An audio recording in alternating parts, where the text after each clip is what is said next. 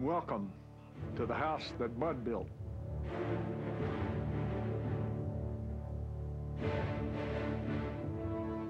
Where Barry made his mark.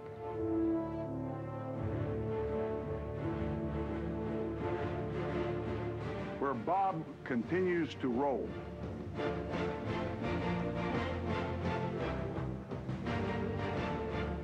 Welcome to the home where Superman lives.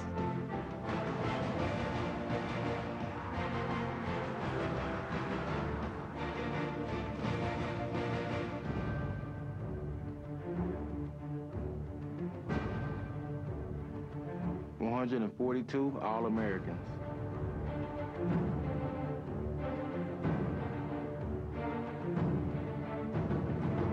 Forty-seven game winning streak. Forty conference titles. Count. Seven national championships. There's only one. Only one. One. One Oklahoma.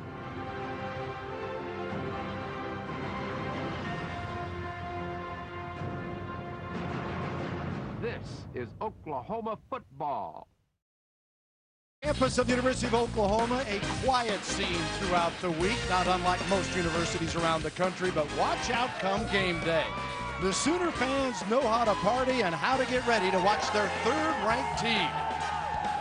Welcome to College Football Saturday from Oklahoma's Gaylord family Memorial Stadium. Today, the number three ranked Sooners of Oklahoma face the Aggies of Utah State. Welcome, everyone. Bill Land along with Dean Blevins. Glad to have you with us here today. The Sooners ranked number three, 2 0. A couple of blowouts, Dean. Hard not to get on their bandwagon. They're playing mighty strong. Well, I think, Bill, after the Boise State stunning loss in the bowl game, people were wanting to get that out of their systems and to move forward. And Bob Stoops is so optimistic about clubs. He was really excited about this one, and the people could feel it if the quarterback was going to come through. Well, that if was answered in week one, and then with a resounding yes in week two with the win over Miami. Sam Bradford sensation. Well, look at these numbers here 40 of 48, so he's had eight incompletions. Far right, he's had eight touchdowns and no interceptions. He's far exceeded anyone's expectations. Bill, he's a, a natural leader. He's a terrific athlete. He's been very, very accurate with the football. He has all the weapons in front of him, specifically in front of him, the offensive line. But here you look at Malcolm Kelly, who can do that, and then he can do this as well. And that tandem's pretty mean. And not only does he have Kelly, he has a host of receivers to go to with different abilities. Juaquin Iglesias might be a little bit underappreciated. He's a possession receiver. Gresham is only 6'6 and 266 pounds. And Malcolm Kelly is as good a receiver as there is in America. All right, that's the throwing and catching game. How about the running game? They got a bevy of backs. No Adrian Peterson, but a guy by the name of DeMarco Murray, a youngster's got people just buzzing around here. Well, he might be the third on the depth chart right now, but that doesn't mean that he's not the guy that has people more excited than anyone because he is really more of a sprinter. He's a guy who came in highly touted, and he's a guy who is a home run threat, which fans love. Utah State, the opponent, 0-2, a little deceiving. They led both games in the fourth quarter. They have a quarterback who literally does it all in Leon Jackson the third. Well, Leon Jackson's a guy that uh, can do a little bit of everything. A lefty there. Here you see his numbers not bad at all. He can punt it as well. But he has to lead this club. He's put too much on his shoulders. And in a game like this, he cannot do that. And they got a guy in the backfield, Curtis Marsh, a dual threat. Yeah, he can run it, he can catch it. He's going against the defense, though, that has allowed only one yard per rush. Yeah, tough day here for the Aggies when you talk about that Oklahoma defense. And with more on the Sooners D, here's Emily Jones. Well, guys, Utah State is averaging 115 yards per game on the ground through two games this season, but rushing yards will not be easy to come by against this Oklahoma defense, which comes into this game ranked sixth in the country in that category. Thanks in large part to the OU linebacking corps, the Sooners are giving up just 33 and a half rushing yards per game. The threesome of Lewis Baker, Curtis Lofton, and Ryan Reynolds have accounted for 38 tackles, six of which have been for a loss, and one sack.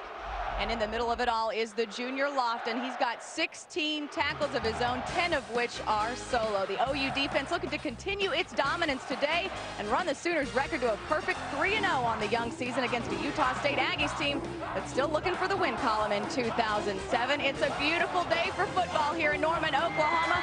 We've got the kickoff between the third-ranked Sooners and the Utah State Aggies when we come back.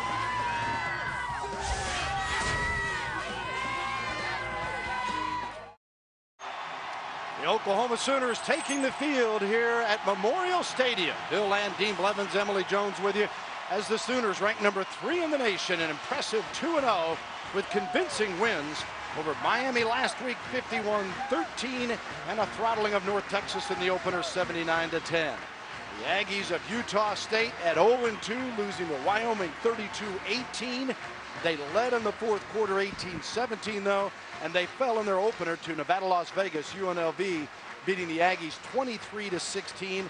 Another game that the Ags led in the fourth quarter, but could not hang on.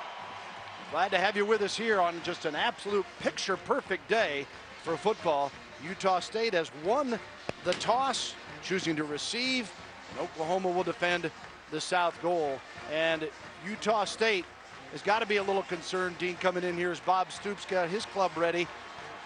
Bob Stoops got to be a little concerned with such a big win last week. Is everybody up and ready to go this week? Well, I mean, they've been a good staff in terms of getting people up or keeping them on the same level. He likes to say even keel. But, you know, emotions are going to vary week to week. It, it, you never are going to, to play at that same level of emotion. And this would certainly be the game that you would dip. The opener, you want to be out there to prove what you can do. And then the second game, huge against Miami. And a guy that Oklahoma folks are familiar with, Brent Guy, who played at Oklahoma State, assistant coach there in two different stops. His third year at Utah State, 4-1. A difficult job. No one is uh, disagreeing with that. Thinks he's making progress, even though it's not shown by the one-loss ledger after going 3 and 8 in his opening year, 1 and 11 last year. But his team statistically is light years ahead of where they've been. Well, and the people around that program see, say that despite the fact they're 0-2. Of course, they did lead going into those fourth quarters, so they could have done better than the 0-2, but there's more optimism and excitement surrounding the program. Well, as Hartley gets ready to tee it up here, Garrett is off to a terrific start and a Groza candidate as far as awards for kickers. Utah State will have deep number six, who is an outstanding performer and a veteran receiver as well as kick returner, and Aaron LeSueur, one of their tailbacks, number one, also deep.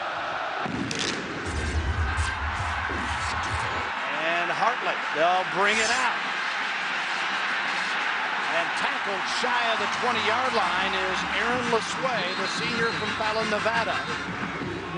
And Utah State will operate first and 10 just shy of the 20-yard line. The Aggies with their quarterback, Leon Jackson III, leading them out. He's a senior from Long Beach Poly. He's completing passes at a rate of 68% for 284 yards. There's a look at his background, his 17th career start. He is third all-time in completion percentage at Utah State at 56%.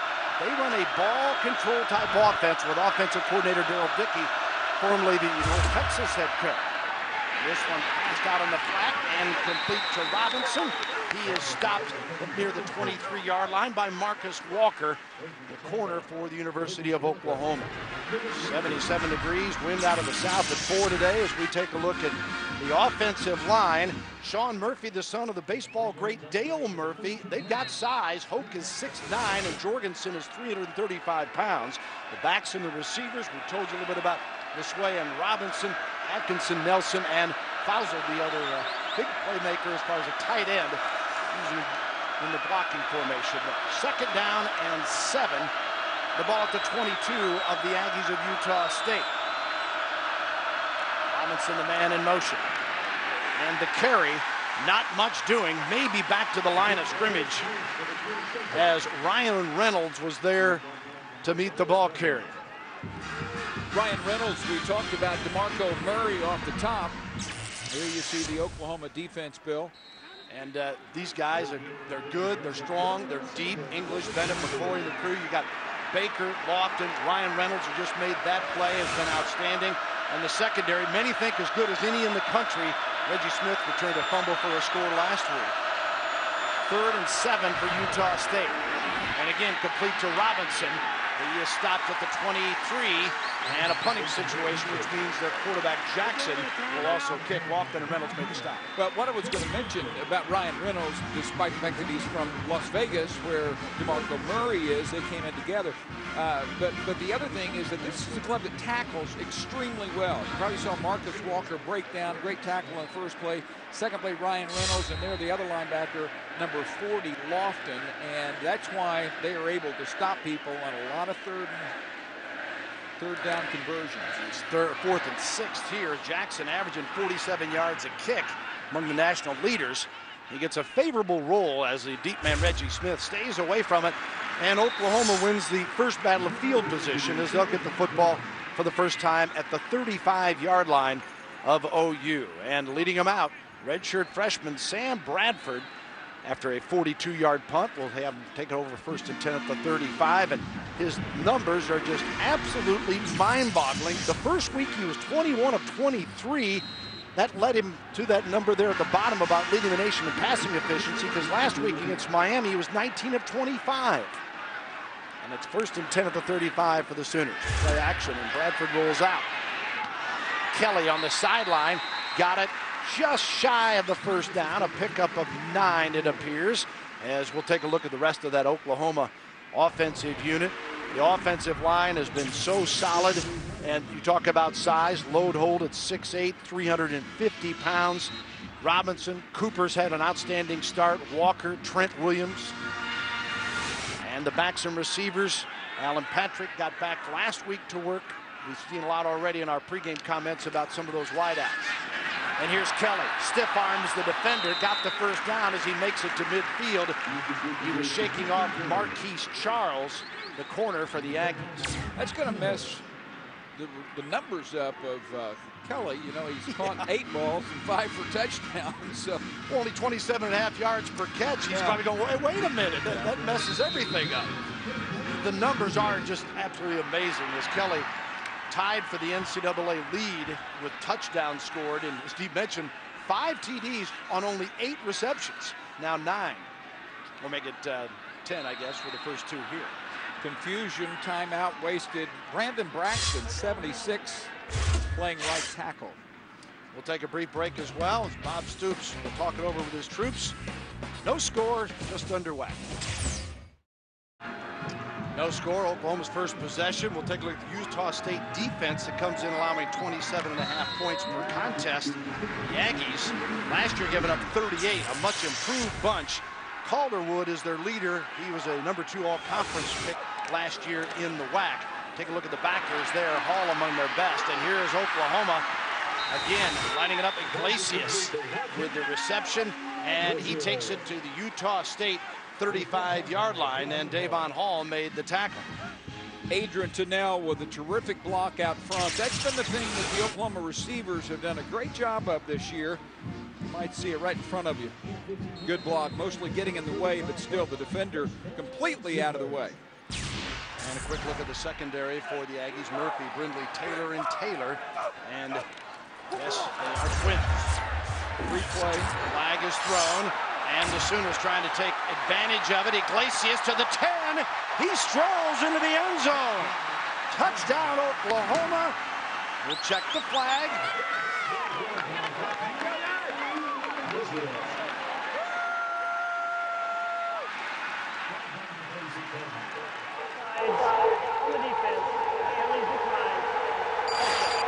So it stands, and Utah State's worst nightmare comes true. Well, you know, most of the time when you have a, an offside on the opponent, you have a free play, and you think a quarterback's going to go ahead and throw it deep. But on this play, it was a little razzle-dazzle, double reverse. Bradford out in front gets his man, and guys, this is the way you draw it up on a blackboard. 35-yard TD trot for Iglesias, and here is Hartley for the point after attempt. He is 17 of 18 through the first two ball games. Takes care of business here. He tied a school record going 11 of 11 in the opener against North Texas. And the Sooners with a 7-0 lead after their first possession. Welcome back to University of Oklahoma. Gaylord Family Memorial Stadium as the Sooners jump out to a 7-0 lead and the scoring drive, if you want to call it that. How about that? Four plays, quickly 65 yards and an average. You know, that I guess Kelly would say, well, that's even below my average, but that's still pretty good production. Well, that's uh, Iglesias is the 10th Oklahoma Sooner to score this year. That's amazing through three games. And it's also a first possession score for the third consecutive game, similar to 2000 national championship season that I can remember building. They used to score on the first possession all the time, and they didn't have injuries, and they haven't had them so far this year. What a way to set a tone. Oh, my. Talking about a tone setter. What a hit by Lewis Baker that time as Baker leveled Aaron LeSueur of the Utah State Aggies. Lewis Baker is one of the best special teams players that's been in Oklahoma for many, many years. He is a sprinter. He's not heavy, but he is stout. Listen. Those are the kind of hits that the team loves when they get together to watch the replays. That'll grade out pretty well. well, they talk about moving the kickoff to the 30, and it creates more collisions, and we certainly don't wish injuries, but it is fun to watch those big hits. And first and 10, and the Aggies will again keep it on the ground. Curtis Lofton makes the tackle on the play as Curtis Marsh gets the carry, the freshman out of Simi Valley, California. He originally went to Naval Academy Prep School and then signed in December, so he had the advantage of spring football, but he's a true freshman at Utah State. He's kind of the big play guy, and then they'll pound it inside with, with LeSueur. See the Aggies uh, trailing the series 3-0. That even dates back to, I think, your era, Mr. Blevins. It, it, might be the black and white television. You put a hurting on them in your day here. This pass is complete to Atkinson, and he has the first down. Move the chains out across the 32-yard line. There's some of that athleticism from Leon Jackson. That is not an easy ball to throw. He isn't turned up a great deal but you really want to be. He's moving more side to side, and the receiver is not completely open, so that, that took some talent. Jackson is a guy that uh, they think will adapt well to what Darrell Dickey is trying to run, and they'll have a lot of different packages, use a lot of different players and formations, try to tone that aggressive OU defense down. And the ball on the ground this time, and Marsh finds a seam. He picks up five or six across the 35 to nearly the 38-yard line. Tell you what, if Wolf hadn't made that tackle, let him catch the right leg, and if he doesn't catch this tackle right here, I mean, that could have gone for a long distance, if not the whole way.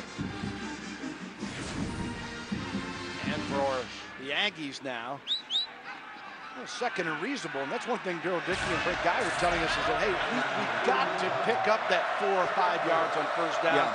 to have some options in our offense. OU's defense has just been throttling people.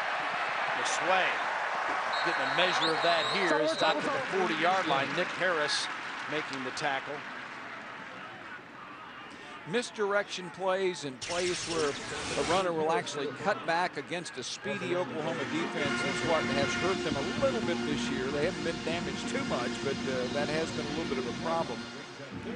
But this is third and short because of that first down pickup you mentioned. Well, that Miami game, the Sooners uh, looked tight for a while, 21-13, and then they get 30 unanswered to just dominate a Miami team that we don't know how good they are, but certainly much better talent than what they'd seen the week before against North Texas. Jackson, the keeper, diving for the first down marker.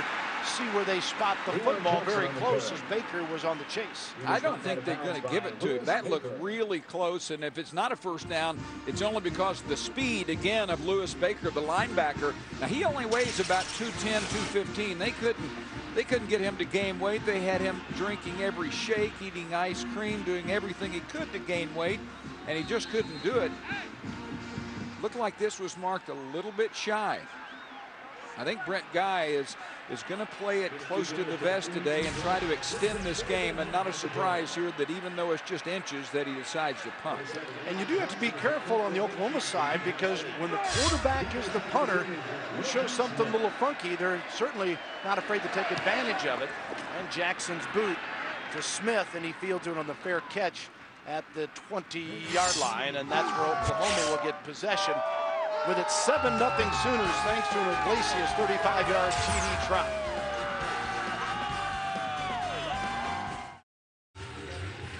Oklahoma with a 7-0 lead and the Sooners getting the football back this time on their 20-yard line after the opening possession. Aggies had a little success offensively and now the Sooners will have to drive 80 yards. That was not a problem on their first possession as they went 65 very quickly in less than a minute. Sam Bradford, the quarterback. Patrick, the tailback, and he'll get his first toe.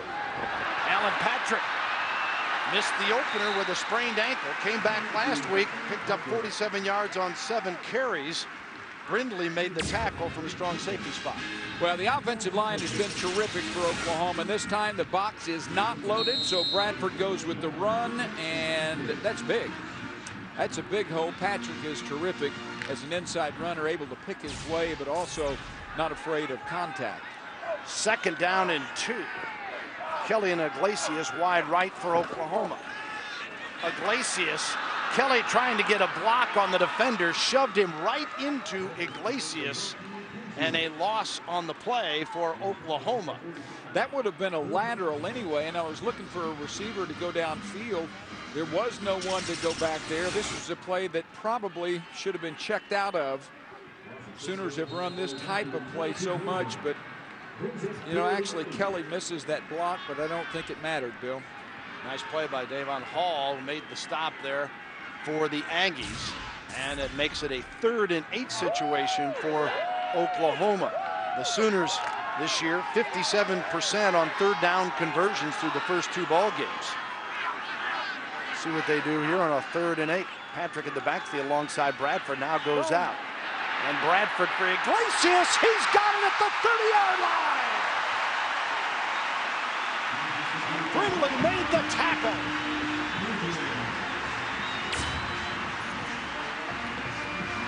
Bradford's accuracy is uncanny. I mean, there were so many question marks about this kid coming in before the season started. And that's an NFL pass there. 48 yards on the pass play, and Bradford continues to just absolutely play about as well as you could ask for a guy's first experience at this level.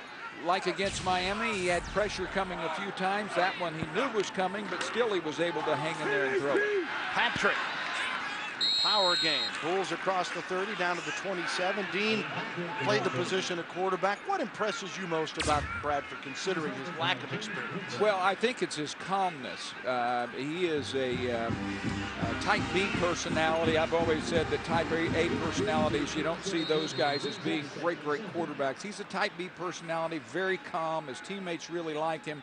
And by being calm and by being a four-point student both in high school and college, he's very smart and able to process and make good decisions. Second down and seven for Oklahoma. Bradford fake to the flat. Kelly puts six more on the board. Touchdown, Oklahoma.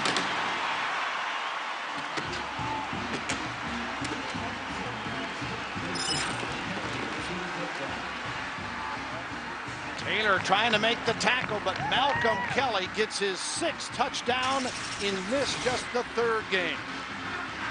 Boy, this is another, this is a, a post, I mean a corner post, and a great move on the outside. There was space, but again, what a terrific throw from Bradford.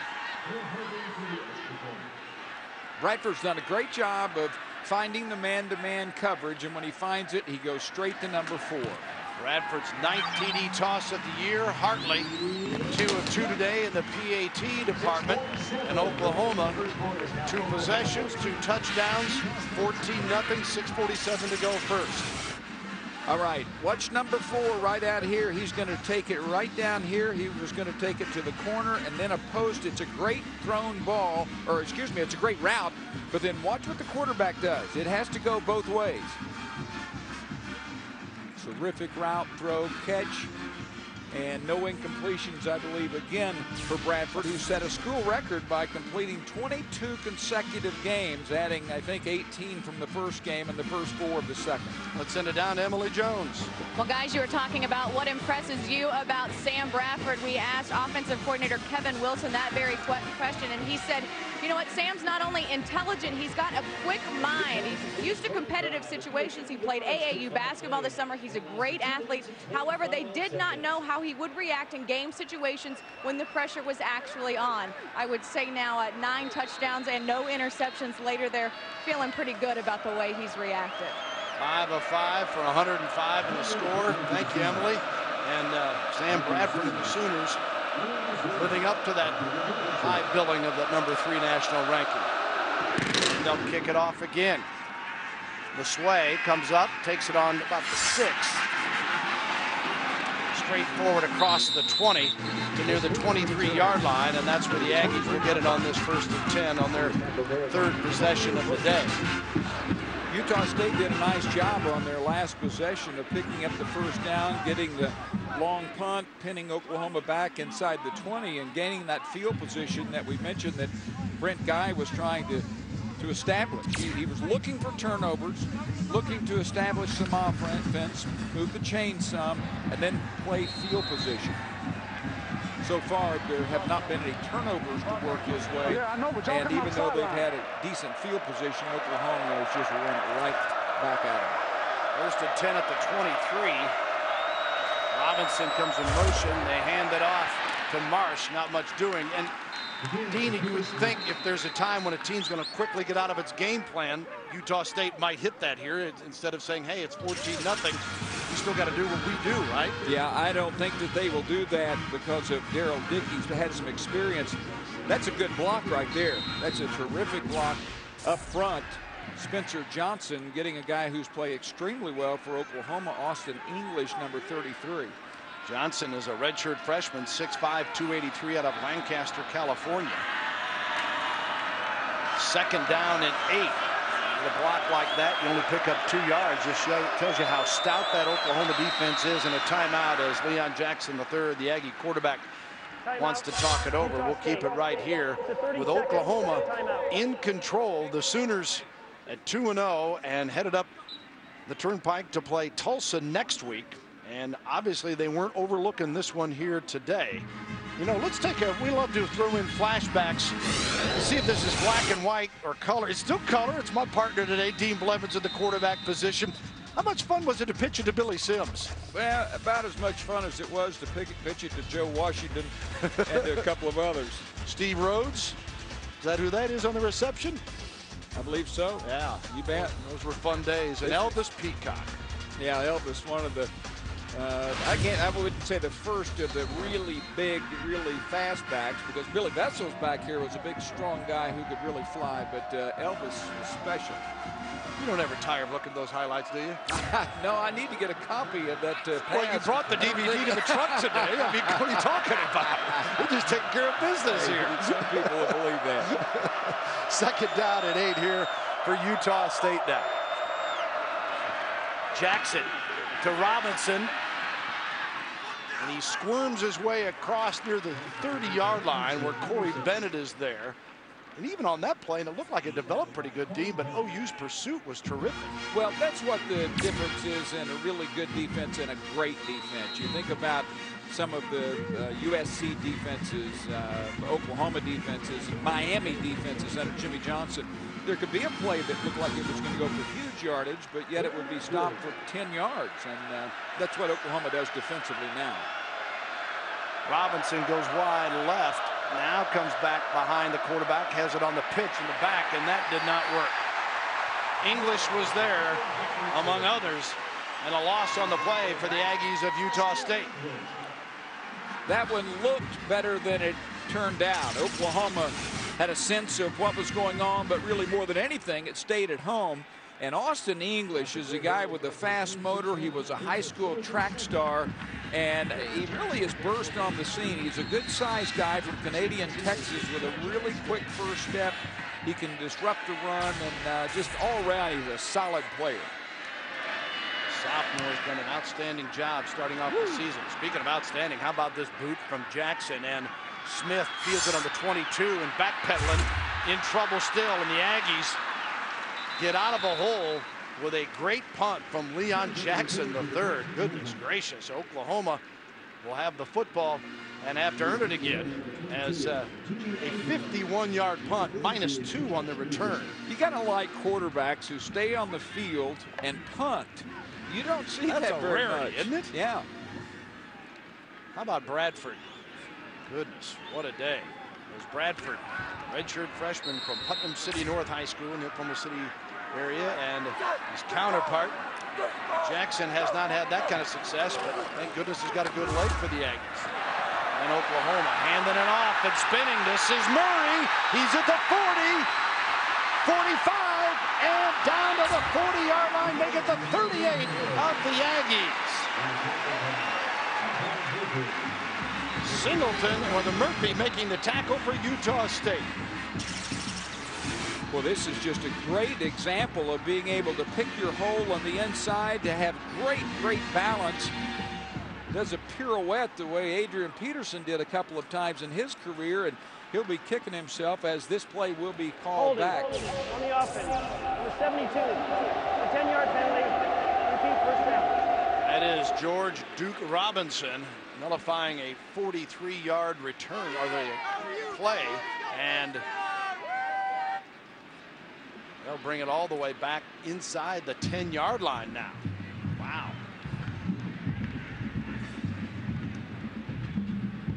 Well, that's a killer play. It, maybe not necessarily in this game, but you can't have that. And certainly uh, DeMarco Murray won't like that because that's probably the best run he's had. But Oklahoma has such a distinct advantage in terms of size. We'll give you those numbers in a minute. Eldridge sets up on the left, and OU comes right back to the running game, and the Sooners need to get to the 29 for the first down, and Hall makes the tackle on that play. Sooners offensive line does a good job moving down the line, opening a seam as once again the running back cuts back. And the Sooners up front, talking about the size, 6'4 and a half, 311, Bill, is the average size of the Oklahoma starters. Chris Brown getting his first carry of the day on that play, and Oklahoma comes right back to Brown. Brown motors across the 35, first down at the 36-yard line, and Brown, sophomore out of Alexandria, Louisiana, was suspended for the season opener. His first action last week, 42 yards against Miami. Uh, Bob Stoops tells me that he thinks this guy could start for almost anyone, and he thinks he's as good as he has in his backfield. And you can see the secondary having to make all the tackles for the Aggies, and that's never good. Sooners are out of that hole now. And Bradford wants to go to the air again. Wide open Iglesias, midfield. Move the chains again to the 49 of Utah State as Juaquin Iglesias, a junior out of Killeen, Texas, scored earlier. Is tackled by Jake Hutton, the Aggie captain at middle linebacker. 15 yards on the pickup. What a beautiful day for football here. 77 degrees at kickoff. Cool front came through the other night and just gorgeous. First and 10 at the 49 looking pretty for Oklahoma as well. Play action as Bradford. Again to Finley and Joe Jon Finley picks it to the 31-yard line of Utah State. The senior out of Arlington, Texas, gets his third reception of the season. Murphy and Hutton to tackle. Joe Jon Flip Finley flexed out, almost a wide receiver himself, one of the three Oklahoma tight ends who plays a lot. That's not an easy throw right there. Sooners doing a great job with their tight ends. Some of these throws aren't easy. That's seven for seven for Bradford, who already has 138 yards in the air. You mentioned he went 18 straight to end the North Texas game. The first four completed to start the Miami game to set a new Oklahoma record that was set by Jason White. Flag thrown here. Now he starts off on fire in this game as well. You know, some people nationally have thrown out Heisman in Bradford's name. Is that even fair at this point? Oh, no. As good as eh. he's been? Offside on the defense, number 46. Five-yard penalty, replay first down. I mean, I don't know that we should be talking about anyone for Heisman. I remember 10, 15 years ago, Bill, you and I were doing a show many years ago, and we were griping about the fact that, you know, after uh, halfway through the season, they were bringing up this Heisman deal. Well, maybe that tells you how long it's been since we've been together. But now they're talking about it, you know, in the summer. No, I mean, two games. A terrific looking player, but two Let him games. play. Yeah. Following the penalty, first and five for the Sooners at the 26. Bradford, great protection once again. He finds Iglesias. No place to dance this time, though. And he is stopped after picking up a couple at the 22-yard line.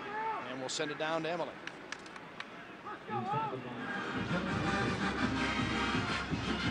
Stand out in a crowd like that, but uh, one guy does. Phil Loadholt, who is 6'8", 350 pounds. He is the tallest football player on record at OU, so it's hard to stand out amongst that group, but Phil Loadholt does a pretty good job. Not a bad name to go along with that uh, physical That's right. description, huh? Seems to fit. Thanks, Emily. As Merck Murray carries to the 20 and has the first down. Now, that weight she gave, was that before the pregame meal? this this guy is kind of amazing. Good look at him there. L- look how slim he looks. He, he does not look like. Uh, gosh, what position would you put him at? Maybe a defensive end when you see a guy like that. And 352, 6'8". Yes, he is a load and not a lot of fat on him. First and 10 at the 20. Good feet on him too. Bradford being chased. Scampers out of bounds. Singleton had him on the run for the Aggies. Singleton with eight tackles so far this season. Bill, uh, you got to really respect Bradford's decision making. I mean, this is only a pickup. Of, well, they're going to mark it at about five or six yards, but his receiver's not open. Great coverage downfield. But instead of forcing the ball or throwing just simply an incompletion, he picks up the five or six and puts it in a great position for a play caller. And as we get inside a minute to the first quarter, 215 yards of offense for Oklahoma. Wow. And Brown, with a flag being thrown, moves it to the 11-yard line. Chris Brown, the ball carrier. Clock stops at 47 seconds. Position for a holding call where that flag went down. Paul Igboli had made the tackle for the Aggies. Holding, holding on the offense, number 74. 10-yard penalty. Repeat second down. Dean, Oklahoma's averaged seven and a half penalties for 55 yards the first two games. That might be one of the few things that I guess any coach would say, hey, we can get better at, huh? Well, and the running backs, uh, and I guess one right wide receiver put it on the ground. They put it on the ground three times, and Stoops and Cale Gundy, the running backs coach, they've done a great job of uh, protecting the football throughout the years. So that would be the other thing.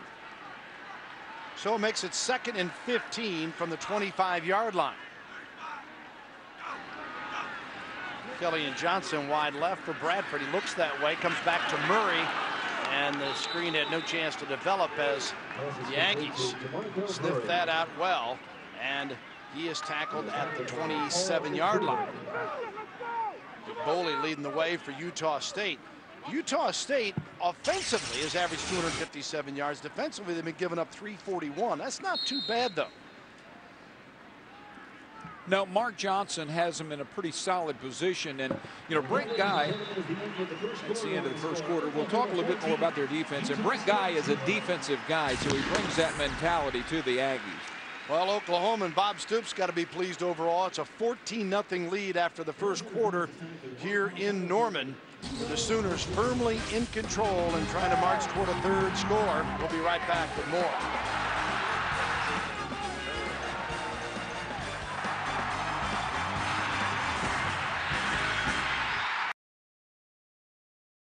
Welcome back to Norman, Oklahoma. The third-ranked Sooners on top of Utah State, 14 to nothing at the end of one. Pleased to be joined by the men's basketball coach here at Oklahoma, Jeff Capel, your second season.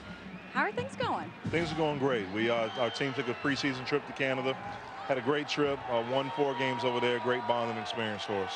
Uh, the Big 12 is tough enough as it is, but your non-conference schedule is pretty stout as well. You've got UNC, uh, USC rather, in there, uh, Gonzaga, West Virginia. You, yeah, I mean, it, you guys are making it easy on yourself, aren't you? Yeah, you know, don't add Carolina. We don't want them either.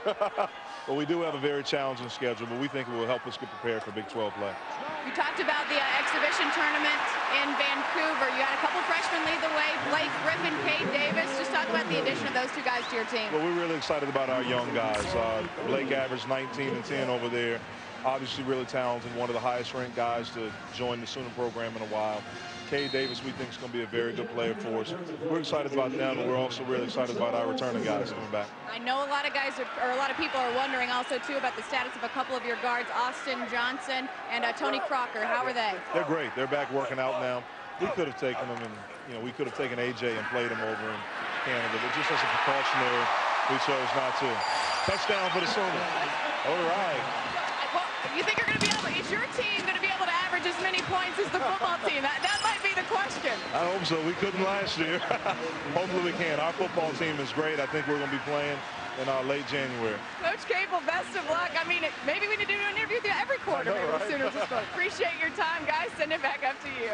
All right, thank you, Emily. You could do one with uh, every possession, and you'll get burned with a touchdown. As Oklahoma once again, the length of the field, and Bradford is 11 of 11 for 167 yards. That time he connected back-to-back -back plays with Joe Jon Finley for the touchdown.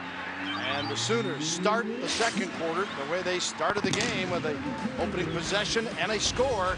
And it's now 21-0 Oklahoma. Another strike for Bradford. Welcome back to Norman, Oklahoma. It is now 21 to nothing with just now uh, 28 seconds left, uh, 28 seconds past rather in the second quarter. Now joined by women's head coach Sherri Coale. Coach Coale, how are things going for you so far getting ready for the season? Good so far, particularly well when our football team starts off like this. Absolutely. You guys uh, always have it tough in the Big 12, but you're not starting uh, any any easier in the non-conference, starting things off with Maryland and Tennessee. The strategy there? We just thought we'd find out a little bit about our young team. We'll have no seniors this year year. We play both games on neutral floors, but still back-to-back -back respective national champions. You do bring back Courtney Paris. Everyone knows what she can do. How big is her role this year, especially since you don't have any seniors? Well, it's huge, obviously. I mean, uh, Courtney is in inarguably the best player in America. Just she's playing with the Olympic team right now, and she is definitely the anchor for what we do. Everything we do goes through her and around her. So uh, her leadership will be called upon definitely this season with no seniors. How do you think the Olympic team will help her in that regard? Oh, I think it's already helped her in her perspective, the way she views herself. I think it helps her be a better teammate. She's always been uh, the lead guy, and now she's trying to make the Olympic team, and it helps her understand maybe her teammates a little bit better. And I think it expands the versatility of her game as well. Speaking of leadership, you're about to begin a two-year term, or have already begun a two-year term as the president of the Coaches Association. Uh, what are you hoping to get accomplished there? Woo! I don't know what I did to deserve that. No, it, has been it's been wonderful so far. It really has uh, to be involved with some of the great minds in the game and to be able to impact the future of our game. And I really think it's a very special time to be involved with women's basketball. Sherri Coale, best of luck this season. We appreciate your time today. All right, guys, send it back up to you. All right, thank you, Emily. And thanks to Coach Coale. as Jace McCormick is the new quarterback for the Aggies. Their possession starting on the 30-yard line following the kick return. Jace out of Layton, Utah. He's 6'1", 190, a sophomore and he is 23 years old, returned from a mission, redshirted in 05, did not get on the field in 06. So we'll see what he's got to offer here. Second and eight. Robinson behind it. McCormick looking for help, lofts it, and it is incomplete intended for Otis Nelson, the wideout junior from West Valley City, Utah.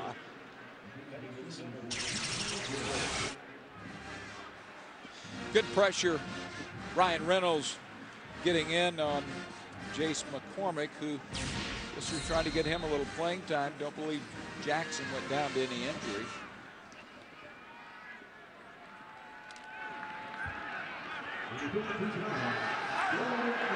Two forty to thirty-one.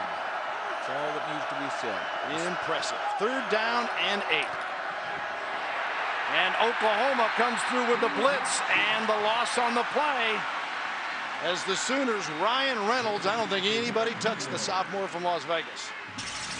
Now, there was a bust by the Aggies, and Reynolds goes in untouched. And he is such a sure tackler that if you don't get a helmet on him, he's going to make you pay for it. Second sack of the season for Reynolds. The guy's a five-time national judo champion. So I don't know what all skills you have to have in doing that, but uh, you have to have more than Bill and I have right now. Reggie Smith, the high catch, and then the tackle at the 33, maybe 34 yard line. That's where Oklahoma will take over with an all OU, 21 0 here in Norman.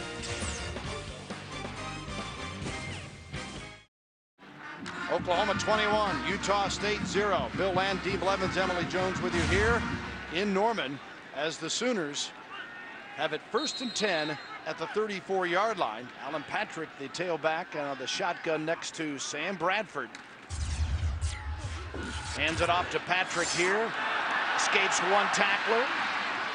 Got something out of nothing that time as he pushes it out to the 39 yard line where Caleb Taylor, the free safety, made the stop. You know, you can call this bad tackling, but it might be just good running because that's what's happened to almost everyone who's tried to tackle this guy for now a couple of years because, Bill, you remember when Adrian Peterson went down last time? Yeah, look at the Trent Williams is um, perhaps the most athletic, athletic up there of the guys in the offensive line. Second and five. And again, Patrick, speed, then power.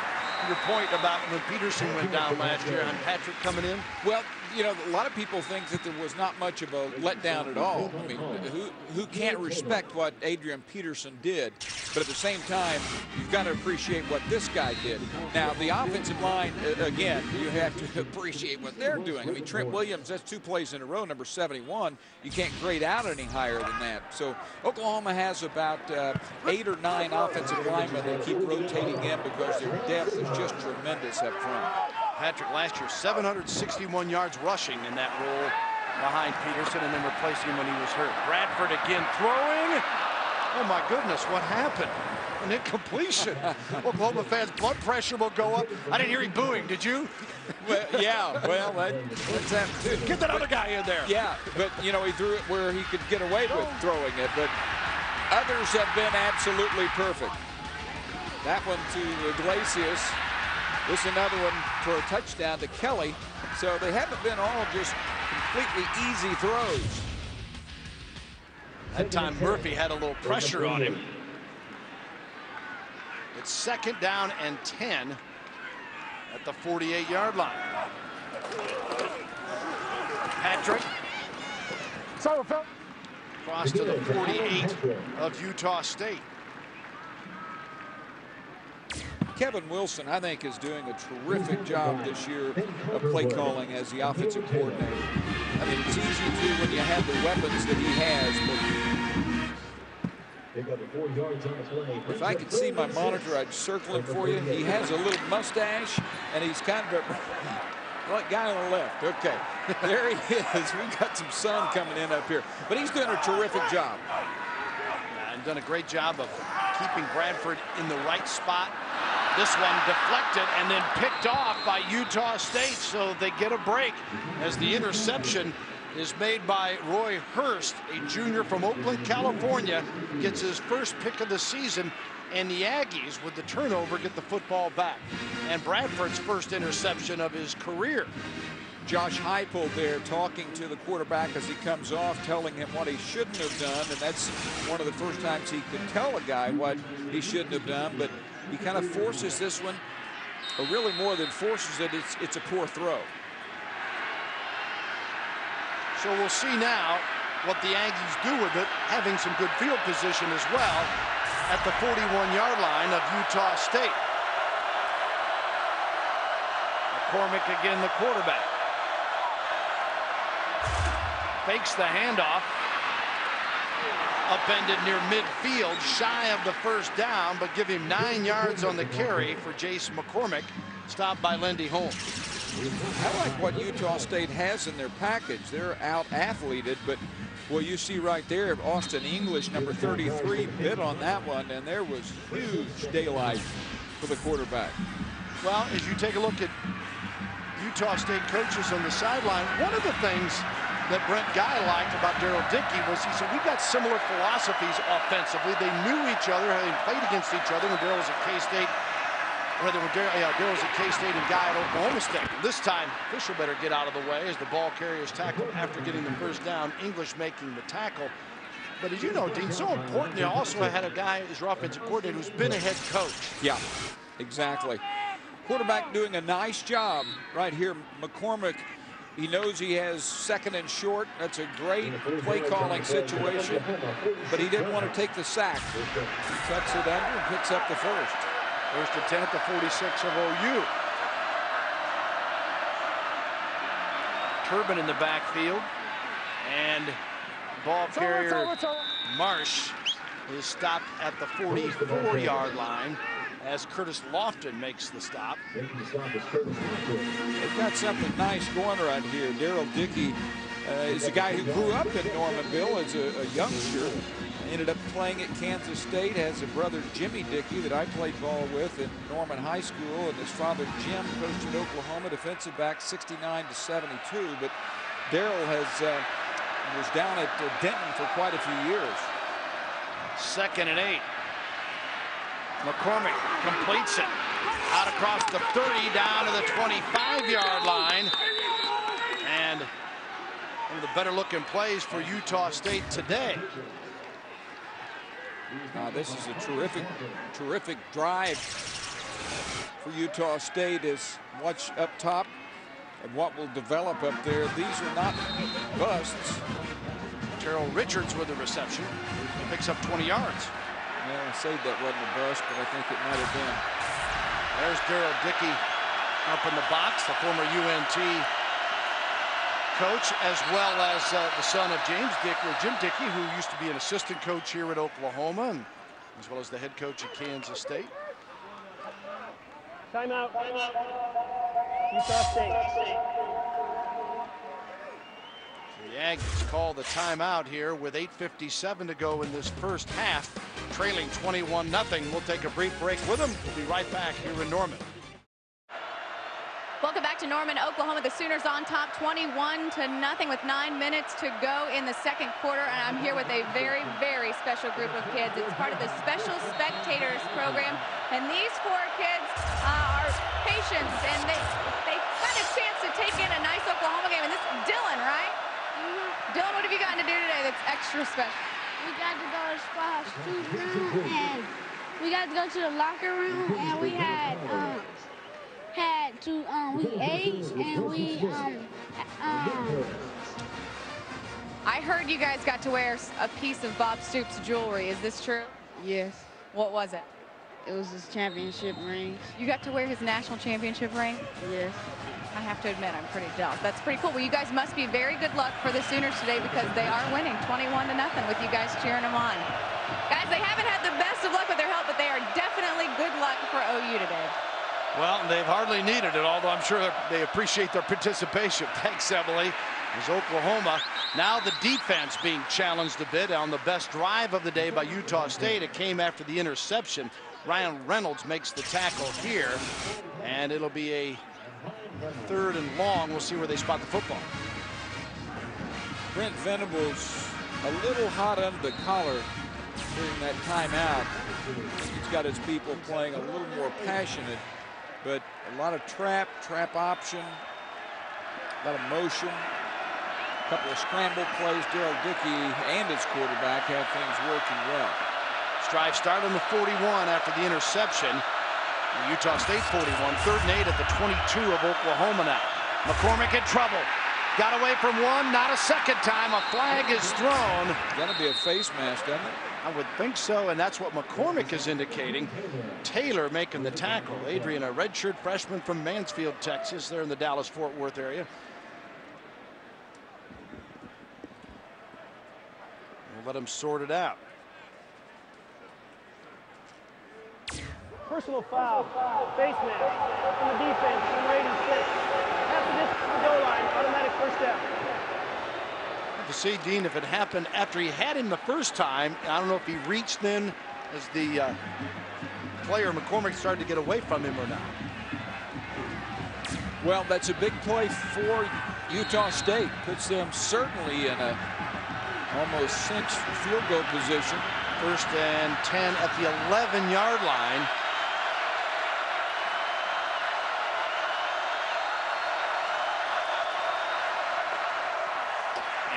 Marsh carries to near the seven yard line. Curtis Marsh stopped by Harris and Lofton.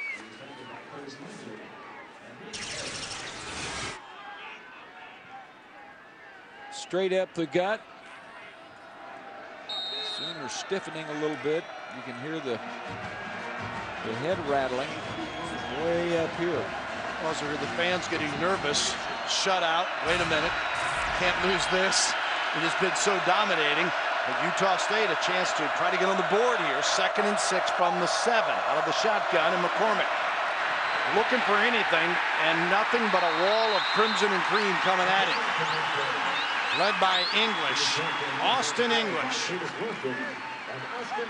You know, I know that they have kind of had Oklahoma off balance here with their play calling, but watch number 33 at the defensive end position. You really aren't going to run around him, and he's strong enough to work through blockers.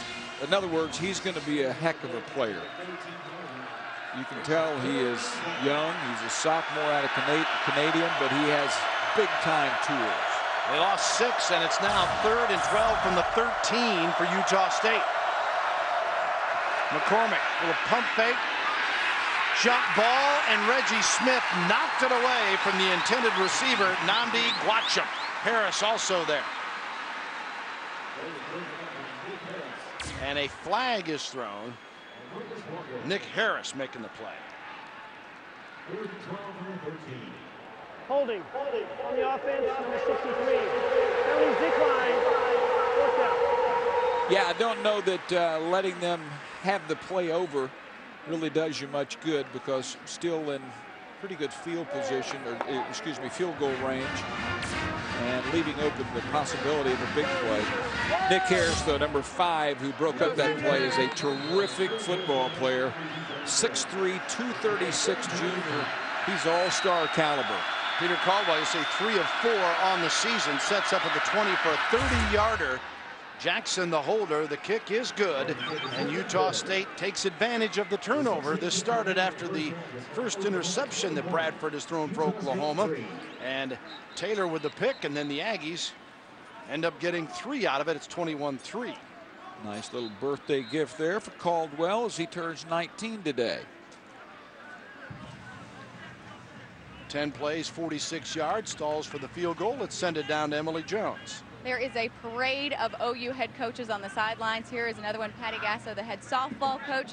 Coach, you had one of your most successful seasons in school history, 55 and 8. You finished in the top 10, but I understand you were disappointed. Slightly. I was very proud of the team. I think we overexcelled. I don't think anyone thought we would end up where we did, but we were number one for four weeks. But what does that get you in the end if you're not at the College World Series? So that's what we were disappointed, but very proud of our efforts and our record and winning a Big 12 tournament, and uh, just just very proud of what we put out there last year. And you've got three All-Americans coming back from last year's team. How exciting is that? I know you've begun practices as well. Yeah. It's been great, exciting, new blood. Yet I have good leaders coming back, very talented athletes. So I think we'll be as good, if not better, than we were last year. So I'm looking forward to it.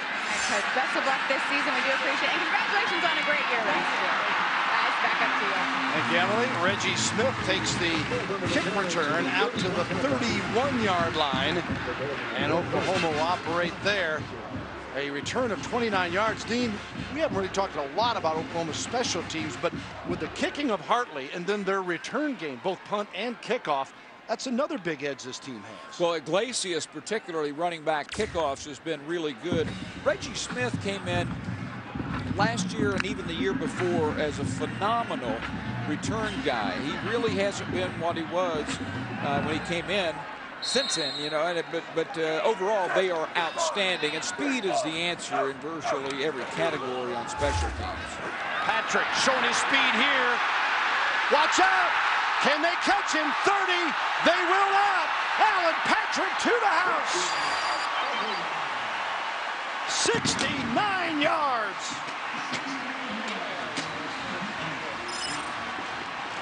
Well, I started, started to say that I think Oklahoma is going to run the football this possession and go score. I think that was correct, but I sure didn't anticipate a hole like this opening up and on one play going the distance and Patrick didn't have to do a bunch except make the last tackler avoid him.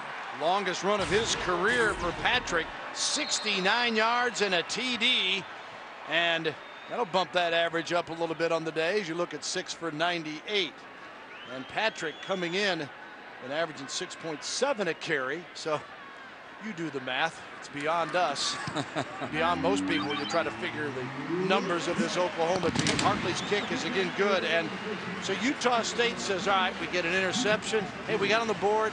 Now let's go and see if we get the ball back. Well, you do, but you didn't want to do it that way. Well, again, here's a, a look at the blocking. And we've mentioned a couple of times uh, that that's as good as you could draw up on a blackboard. And that one is. By the time you get to the second and the third quarter, particularly the fourth, if other teams don't have a lot of depth, and Utah State doesn't, the Sooners just wear them down. And I don't care if Oklahoma's playing one of the better teams in the country. Generally, they have more depth than other teams. And I think maybe so this year more than any that I can recall, Bill. And the other thing about that, Bob Stoops will tell you that this team prepares well. They've really been attentive. And when you have that old coaches saying of competition for position, which they do in just about every position, it gets players to avoid that letdown because they know if they don't play particularly well, somebody's going to jump right in there and take their place. And, you know, Allen Patrick, no one was doubting his ankle hurting. He said he was fine for the opener, Dean. But when you see DeMarco Murray get five touchdowns in his first game in a Sooner uniform, your ankle's really ready to go, right? Good point. Oklahoma will kick it off as Hartley. Robinson at the seven. Dives to near the 25 yard line. And that is where Utah State will get its next possession.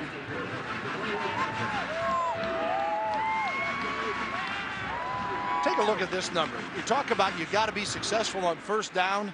Oklahoma on first down today, 208 yards, 14 plays. Mm, that is just phenomenal. Everything's going to work after that. 327 total first half yards.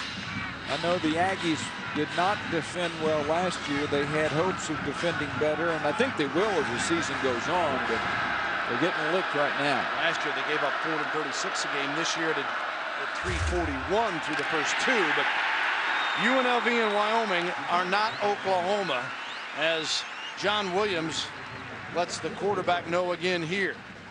John Williams, a guy that has been really impressive and just hanging in there at Oklahoma. He's out of Houston. He's kind of a bookend with Dotson out of Houston, but he is a, a cousin of a lot of great, great athletes. Derek Johnson, formerly down at Texas. Michael Johnson, the sprinter, and many more. It's in his bloodlines. Second and 12 at the 23-yard line for the Aggies with 5.17 to go in this second quarter. And LeSueur couldn't sway out of the way as he is stopped for a loss on the play. And Curtis Lofton and Lendy Holmes are there. Do you think that uh, Brent Venables had anything to do with the emotion that the Oklahoma defense is playing with on this series versus the last? Uh, yeah, I would think so. And uh, defensive coordinators, well, we see it all ways. Are they in the booth or are they on the sidelines? In his case, it fits this team for him to be down there. And it fits his personality. Yeah. I'd, I'd, hate to see him up in the booth. Take the windows out. Third down and 12. And it's complete to Robinson. Way short of the first down, though, out near the 26-yard line, and a punting situation for the Aggies of Utah State as Ryan Reynolds is there on the play. Was Brandon in the press box with Mike Stoops for a Kansas State game that was a really big one as they were winding it down at Kansas State before coming to Oklahoma? I think I've heard some of that. Yeah, and yeah. I, I, remember Mike. And if anybody knows Mike Stoops, uh, type A personality. great guy, great guy, great Fourth coach. Down, nine, and Shanks it. It goes out of bounds on the OU sideline. I'm going to mark it at the 48 of the Aggies. So, and 22-yard kick if that stands. As you look at Brent Guy. Don't you play golf left-handed? I, I think I remember that. I swing left-handed. Okay. I don't know if you want to call play is, is well, what you describe my performance on the course. That, that, Are we already at that level no, here the well, second quarter? No, I was just thinking the last time we played, you had a little trouble with those pitch outs. I think it was a shank left or two. That was like a five-iron shank from the left-footed kicker. That's why that word comes to mind so freely right. with me, you know. First and 10 at the 48. Brown, and it was whistled down before he lost the football. I knew we brought out the old video of Dean, the Bill Land golf would then follow. It's, it's shot for shot here. 336 and counting. Oklahoma with the ball here. And very solid performance, I think you'd have to say, in this first half for the Sooners. As they lead at 28-3, out yardage them 327 to 58 at this point. It's second and eight now. Play action as Bradford rolls left and Kelly. Dean, you mentioned his hands. Is there a better example of just anywhere within a range? Yeah. He's going to grab it. And his body language, both catching the football and then afterwards, certainly not a cocky kid whatsoever. He is one of the all-time great kids, but it is just so natural for him. He just drops the ball and comes back to the huddle. Well, there was enough zip on this to keep it from going the other way. And it moves the chains. First and 10 at the 37, Oklahoma. Brown. Good hard tackle that made defensively that time by Utah State. Bill, don't you get the sense that Utah State, I mean, they've given up the, the home run ball, but, I mean, they have done some good things defensively. Yeah, I mean, I mean, you look up there and you see 338 yards. It seems strange to say that. You can see hope for the Aggies out of this, going against one of the nation's best teams. Second and 10. And out of bounds. We'll mark where the 30, a little short of the first down as Zaslaw, the receiver. Dane, a senior from Edmond, Oklahoma, had his first career touchdown against Miami. Zaslaw coming out of the backfield, and it's a check down because that's an easy throw and could have should have been a first down, but still it's third and short, and it'll be four down position. Matt Clapp, as good a fullback as they have, is being redshirted. He should come back next year and be the guy. Third and two. Bradford trying to lay it out there and just a little too much that time. Is he trying to connect with Eldridge? Brody nearly had it. That was there for the taking. Maybe he got his tight ends confused, and it wasn't Gresham, who's the six-six and uh, has a spurt.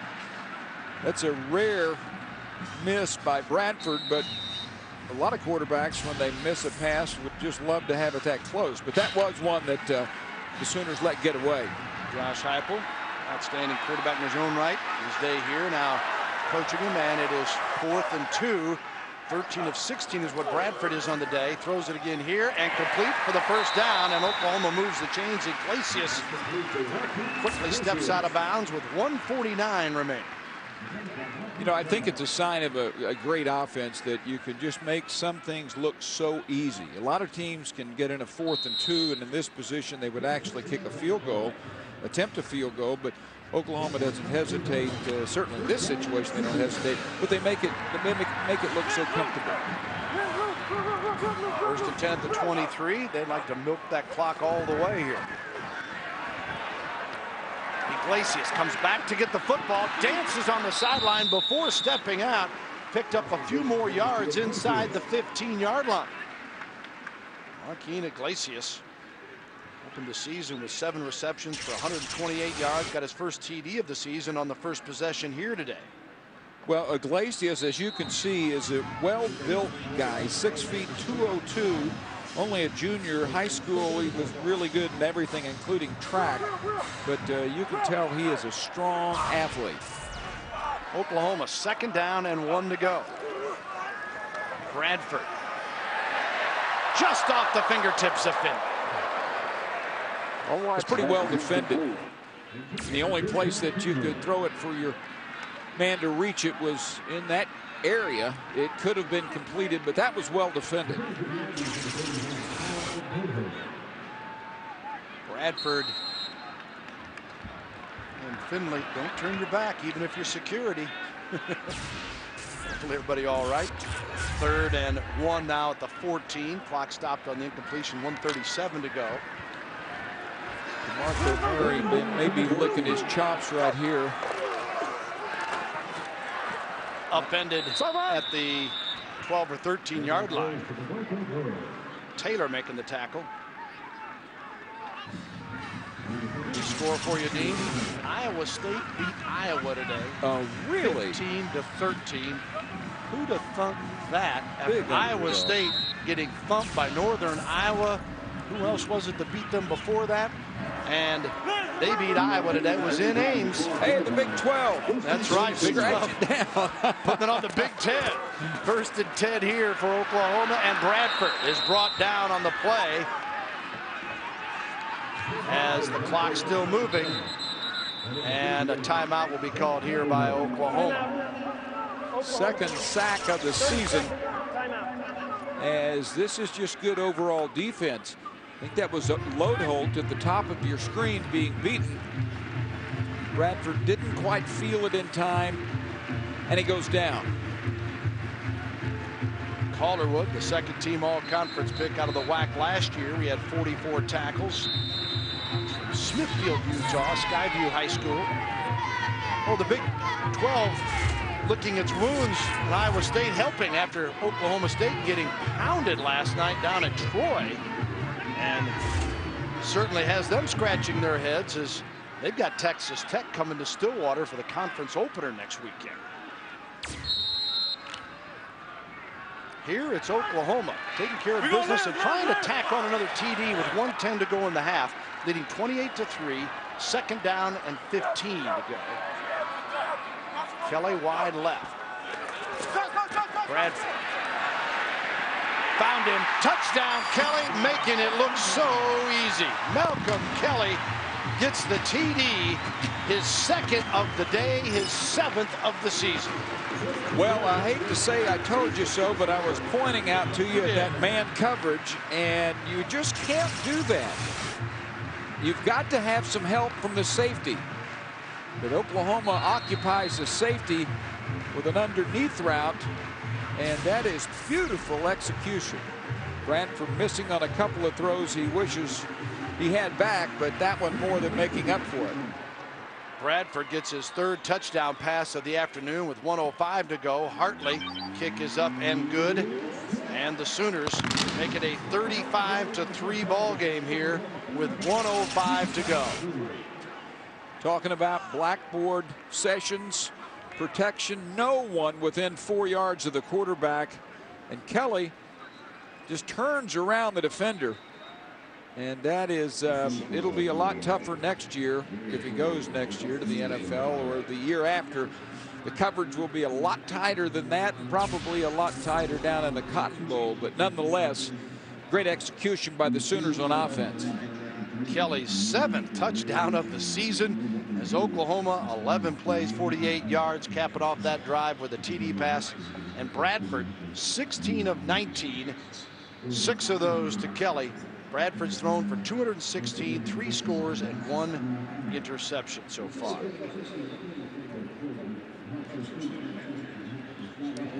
Utah State back for the kickoff here. With 105 to go in the half. Bill Land, Dean Blevins, Emily Jones with you as the Sooners in control of this one as they were expected to do.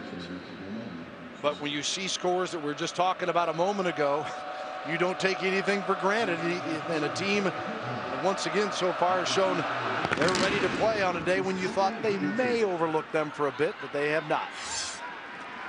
And LeSueur to the 30, 40, dives out of bounds and at the 47 yard line.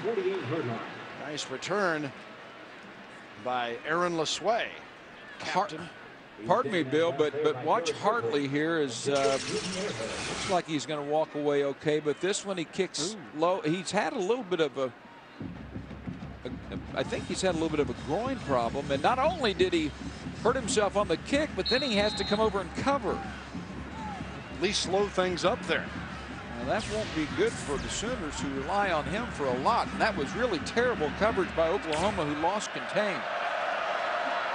Well, we'll see what the Aggies come up with. McCormick somehow found a hole for a few yards, and boy, did he pay for it. The football's loose, and Oklahoma's got it. Boy, there was a hit by number wow. 40, Lofton, who hits about as hard as anyone in college football. And Alonzo Dotson then recovered the football. Dotson, the senior from Houston, took advantage of the big hit from Lofton. Play disrupted at the line of scrimmage, and the collision is huge. Look at Dotson. Look what came into my lap. I, I think that that uh, will stay with Utah State. All right, they're going to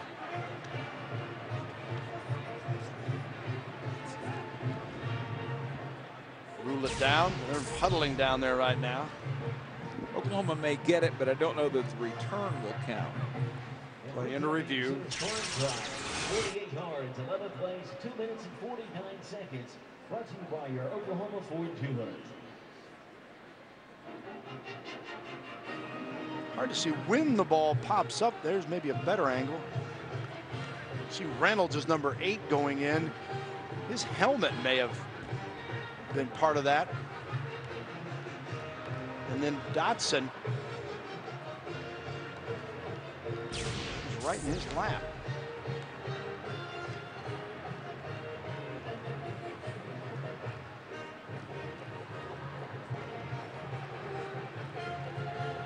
After review, the ruling on the field is confirmed. It was a fumble and recovery by Oklahoma.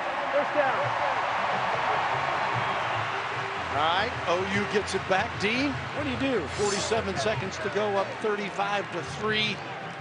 This is the part that coaches don't want to have to plan for, but you do have to plan for it when you've got an opponent thumped. Let's listen back to this play a second first, though.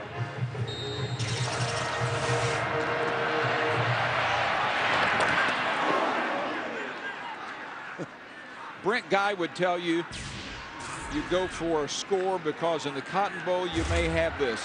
That's right. And oh, you look in that direction, it's overthrown. Intended for Kelly. Good coverage back there that time. Bradford had just hooked up with it.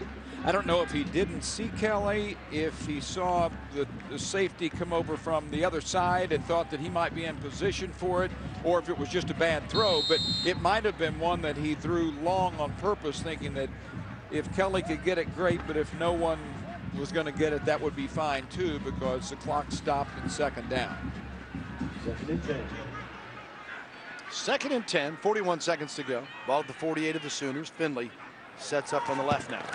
Bradford got hammered, but got it off in time, and Iglesias will move it for a first down to the 34-yard line of Utah State on the reception. Bradford stood tall with a defender coming right at him. He has a stronger arm than a lot of people felt. It's hit from the backside. Watch him pop back up, though. He does a good job of that, and he gets back to the line of scrimmage because the clock is about to start. Poor throw there. That hit was by Davon Hall, and now the incompletion. Bradford trying to go to Kelly again. And it'll be second down at 10 with the clock stopped and 28 seconds now remaining in this first half. Now, Bill, to expound on my thought there about what Brent would say is you go get it. First of all, it's 35 to 3, and it, you're in the first half. I say, unless it's 80, you know, an 80-point difference in the first half, you still go get it. But you've got to let your guys play. They've worked too hard for these situations. Bradford. And again, complete first down, I believe so. We'll see where they mark it. Near the 25-yard line. Looks like to be a little shy. Iglesias again on the reception. Joshua Taylor covering. Boy, this was just a great reception from Iglesias. A nice route here. And he keeps that left foot inbounds, and, and you got to go back to the quarterback, though. Great job of moving his feet, buying some time, and his, his body doesn't always, he, he keeps his body in such a great position because of being a great athlete. He makes it look so natural. Oklahoma 401 yards of offense now.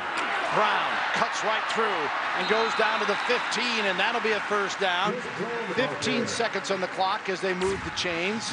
Bradford will hush, hustle them up so they will not waste a timeout here.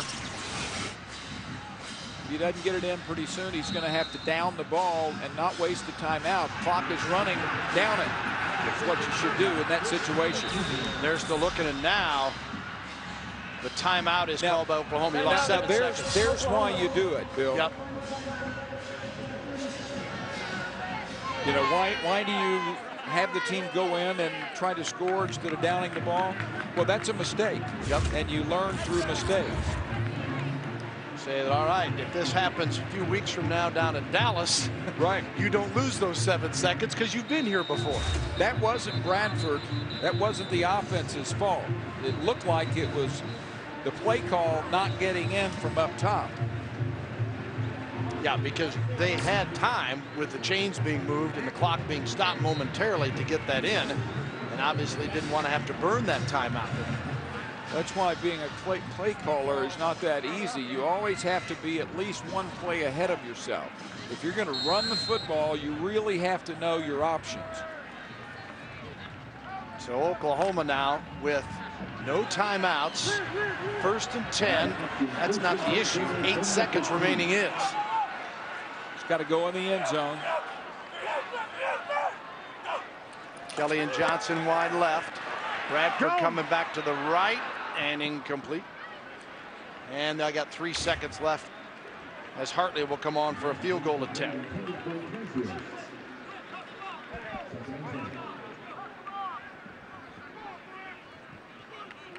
So Utah State, after the turnover, at least stiffens here to yeah. not allow the touchdown.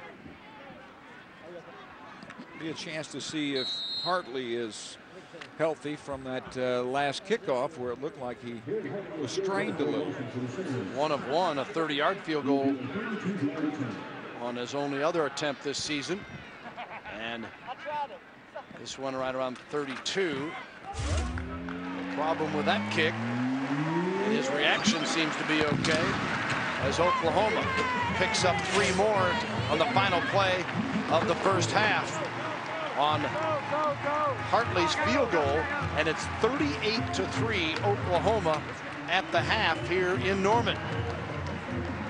The Sooners very impressive certainly some things to talk about but overall how do you argue with a 412 yard performance and 38 points let's go down to Emily Jones with Coach Stoops.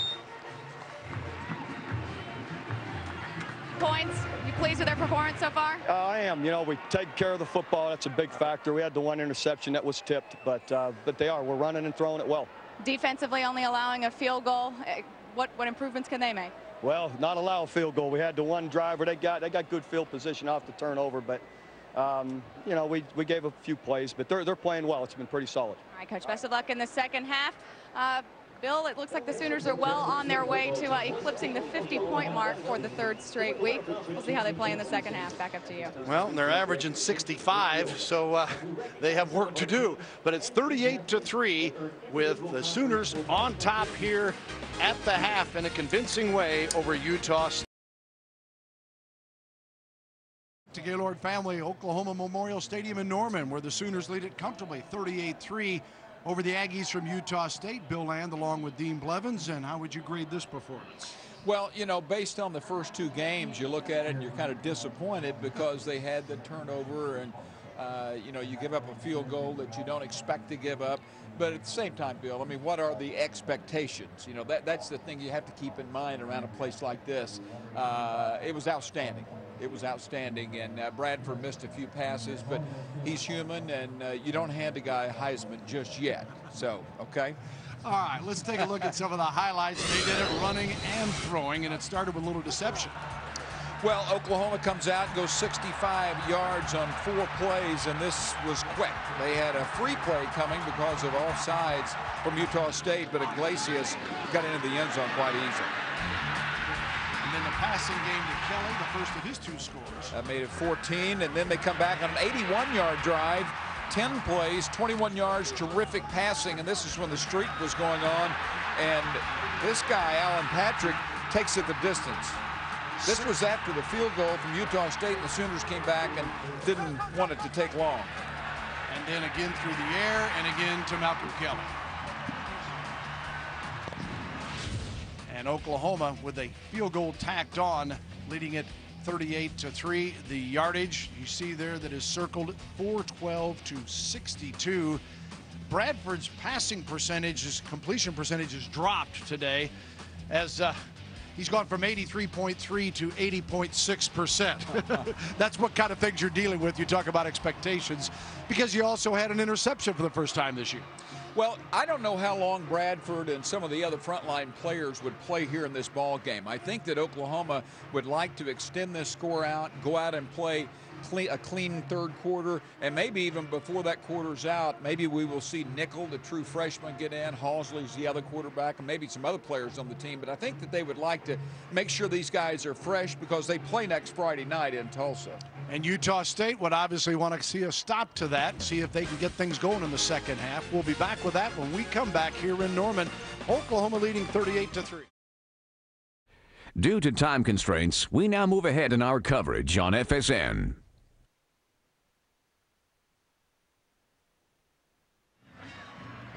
Welcome back to Norman, Oklahoma. The Sooners on top of Utah State 38 to 3 with 9:45 to play in the third quarter. Our tour of OU head coaches continues with the volleyball coach Santiago Restrepo. How'd I do? Yes, that was perfect. Okay, thank you. And speaking of, you, you guys were darn near perfect last season. 2 years ago, this team had only 7 wins. Last year only 6 losses. A pretty incredible turnaround for this program. That is definitely incredible and that's a tribute to the dedication and the work ethic that our volleyball players have. You guys are off to a great start again this year, 9 and 2, including a win this morning over Kansas and a win last week at Texas A&M, who is ranked number 25 in the country. What do you like about this year's team? Oh, I, I love this year's team. I think the chemistry is great. Uh, we have eight new players uh, in and eight returners. And uh, we have a program called the Big Sister Little Sisters, and they're all taking care of each other's mind. They're doing a great job so far. And only two starters back from last year, so you're getting it done with you. Yes, uh, only two starters, you know, but we have also a lot of experience, okay, and done a pretty good job from last year. Okay, now you, you can join Jeff Capel as good luck charms because Jeff Capel, I was interviewing him earlier. Sooners scored a touchdown now. You scored, they scored a touchdown when you're talking. That's, uh, you and Jeff Capel, good luck for the Sooners, I guess. That's the good luck charm that we have. All right, guys, we'll do another interview a little bit later and we'll see if the Sooners score again. All right, thank you, Emily. 92 yards for DeMarco Murray. And unbelievable. This guy, this is why people are so excited. Didn't you said home run threat? Well, you know, he has the home run threat ability. He has track speed. He's up to 205. He's gained about 20 pounds since he got here. He's now carried it four times for 100 yards. And uh, Bill, he was also, some people say he was the one of the top 30 high school basketball players in the country. Yeah, no, no, outstanding basketball talent. And Hartley comes on for the point after. It is good. And Oklahoma, with 8.59 to go in the third quarter, now on top 45 to 3. Murray with a 92 yarder.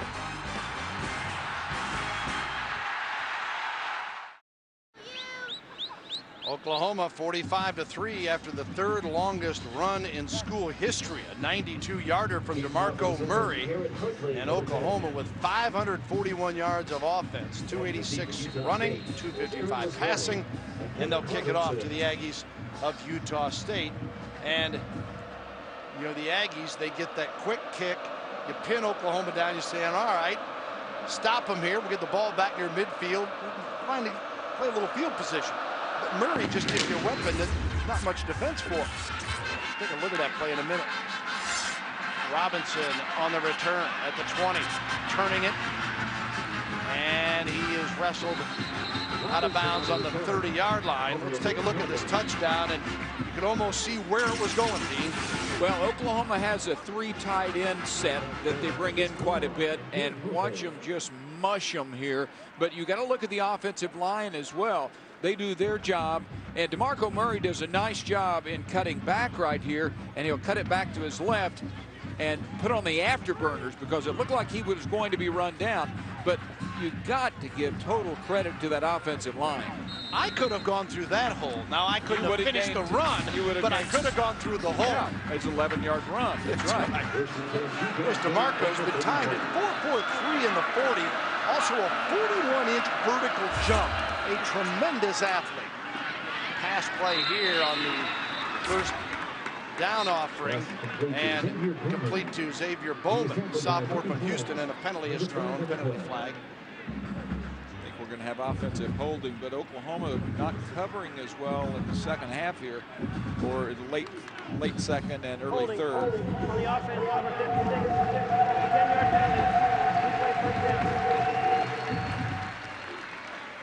84,403, the official attendance here today at Gaylord Family Oklahoma Memorial Stadium. Brent Guy discusses that one with the official.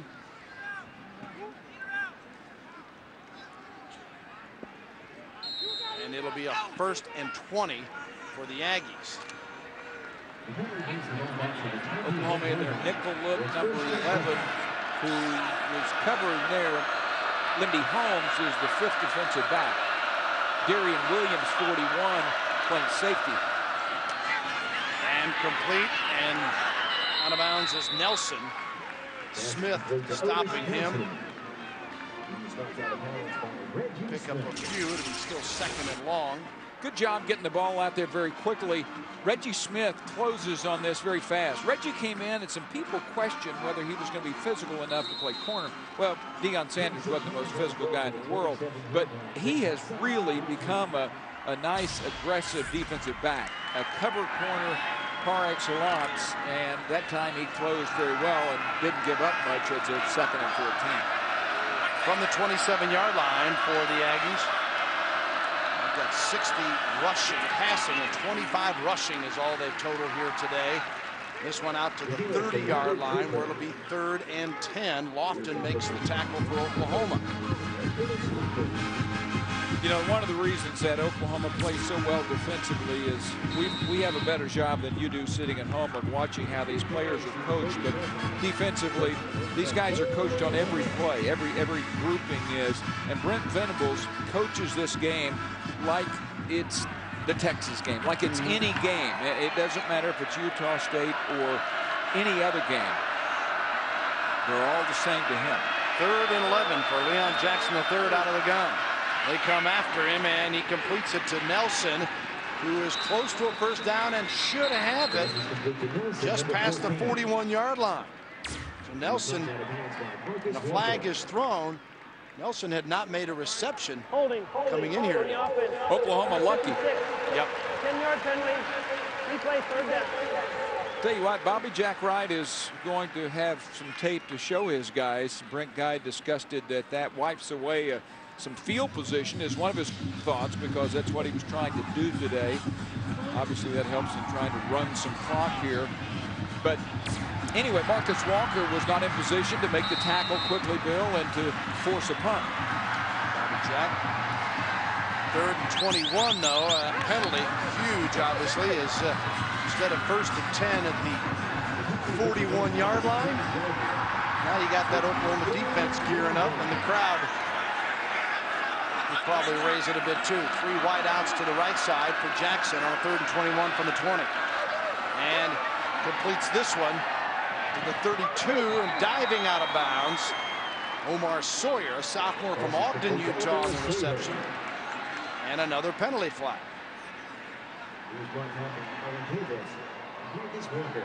Boy, Brent Guy will go nuts if this goes against Utah State, and I think it will again. After the play was over, dead ball, personal foul. on the 17 of the offense. It'll be 15 yards from the end of the run, fourth down. Well, that is Bowman. Yeah, that is so hmm. frustrating because you get yourself out of the hole.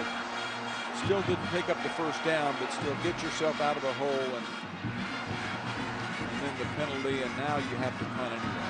As the Aggies, they're looking forward, and they go home to meet Utah for their San Jose State next week.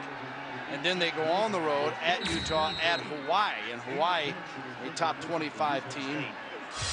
So, got a heavy road schedule to start their season. I want to carry some type of momentum. Here is Smith on the return from the 48. And Reggie across the 40 to the 39 yard line for Oklahoma. Great field position for the Sooners after the punt from Jackson.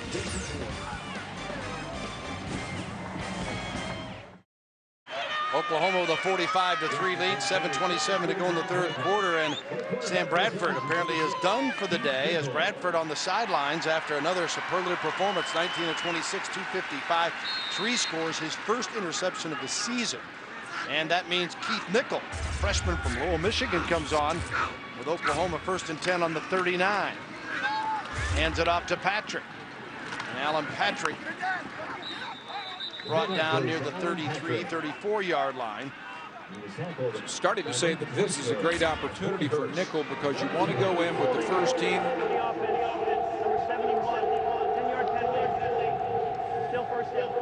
And you want to have good field position, but then I saw the flag come out, and you know you kind of lose that. But um, a lot of it is about, I mean, it is in life. It's about opportunity, you know, right place, right time. And Nichol, the true freshman, highly touted coming in last spring. Uh, that's so important, Bill, as the second guy coming in to be put in a position to succeed. Nichol did not play last week, did against North Texas, threw one, ran one, and guy that people have talked a lot about his talent abilities, gives him a chance to showcase him a little bit here. Hands off to Brown on a first and 20. Chris is tripped up about the 47 yard line. So third, or they're second and long now coming up for Oklahoma. Derek Cumbie, junior linebacker from Andrews, South Carolina, made the tackle. Keith Nichol has a ton of promise. He's 6'2", 204. He's a true freshman from Lowell, Michigan, where he was the two-time Michigan Player of the Year, a late commit to Oklahoma. Grisham moves, sets to the right side now. Nichol fires it to Chaney, and he muscles his way near the 35-yard line. Quentin Chaney. He is a 6'4", 213-pounder out of Tulsa from Booker T. Washington. Nichol is the best runner, and he has the strongest arm, and he has tremendous upside. So, you know, you say all that, and then there's Bradford, you know, who's who is Heisman in that area, but, you know, who is just a terrific player. But here's a guy that, uh, you know, has a lot of skill. Third and seven for the Sooners. Nichol. going deep. Incomplete. Nearly had it. As it went very well covered, but certainly a catchable ball for Garrett Botham. Garrett did not quite turn on the afterburners because that looked to be a perfectly thrown ball. Here currently in field goal formation for the Sooners. Well, that was a Yep. perfectly thrown Yep. ball. The wicket says Hartley will set up now. The line of scrimmage is the 31.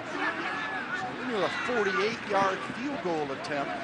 And then 40, This will be a 53 50, 53, I beg your pardon. As he sets up on the 43-yard line. 53-yard attempt by Hartley. With that leg, it is good. Garrett Hartley from Southlake, Texas. 53-yarder. That is a career best. His previous best was 52 a couple of years ago. Hartley's kickballs over 60 yards in scrimmages this year in uh, driving rain. And he's gained 25 pounds from when he came in. He's at 205 and not real tall, about 5'8", but a very, very strong leg, which obviously looks healthy right now. All right, as Hartley gets pats on the back for that career best 53 yarder, send it down to Emily Jones. Well, guys, I don't think I think that I think the streak's going to be broken as far as head coaches being interviewed when the Sooners score a touchdown, unless something miraculous happens. But we are joined by Mark Williams, the head men's gymnastics coach here at Oklahoma, and also Jonathan Horton. And we'll start with you, coach. Seven national championships this team has won. What are you looking for coming up in this 08 season?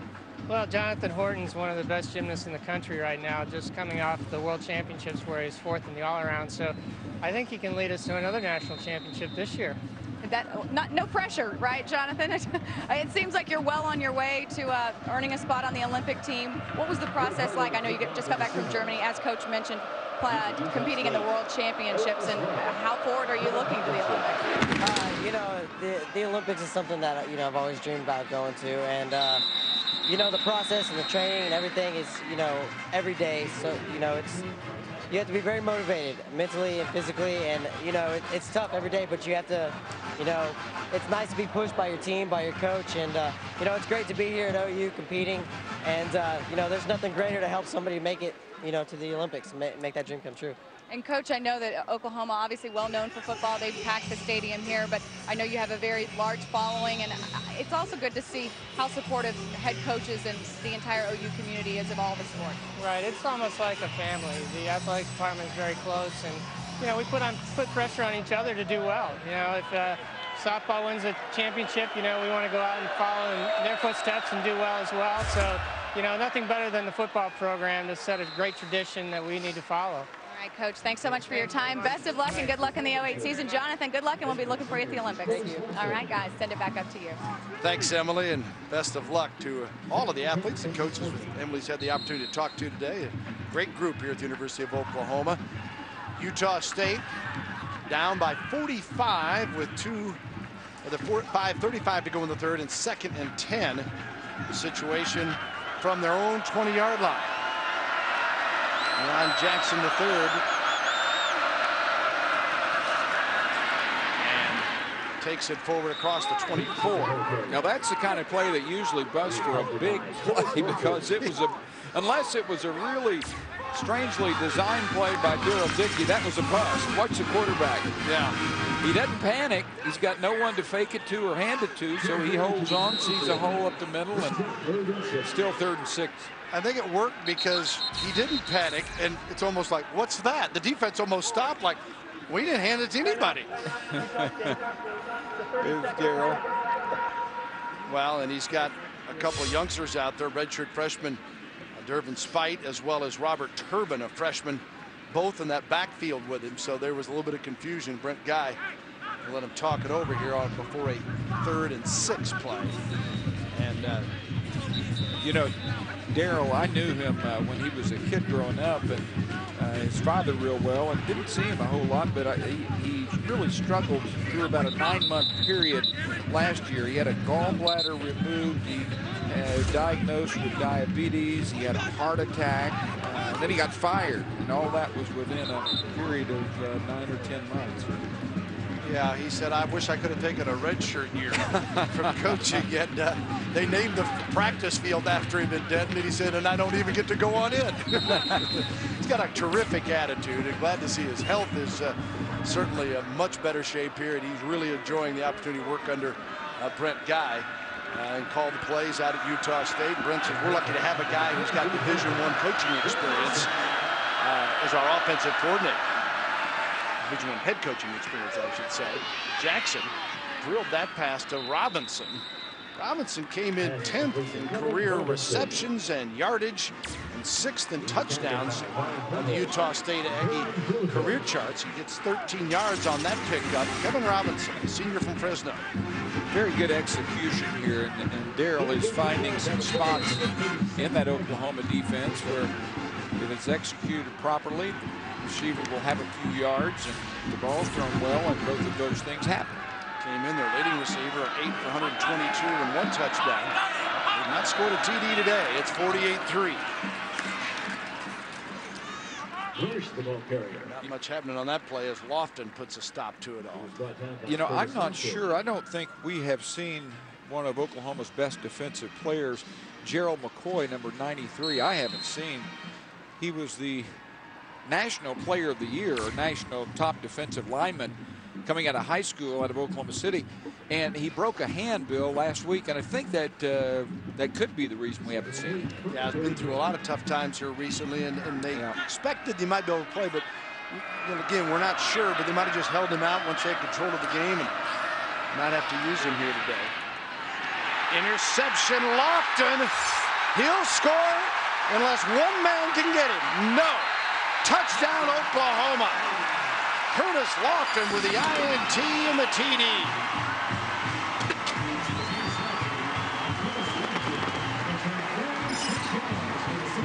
Well, Lofton is known for spending a lot of time in the film room. Bill, that looked like a play that he sniffed out. And he showed a lot of athleticism on that, didn't he? Because he's up to around 250 pounds. He didn't motor like it.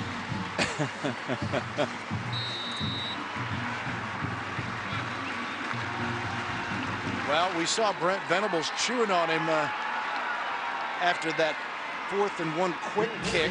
I don't know what that was about, but Probably going back. Is that good enough, coach? Does that make up for it? And the point after by Hartley. And no good. This is his second of the season.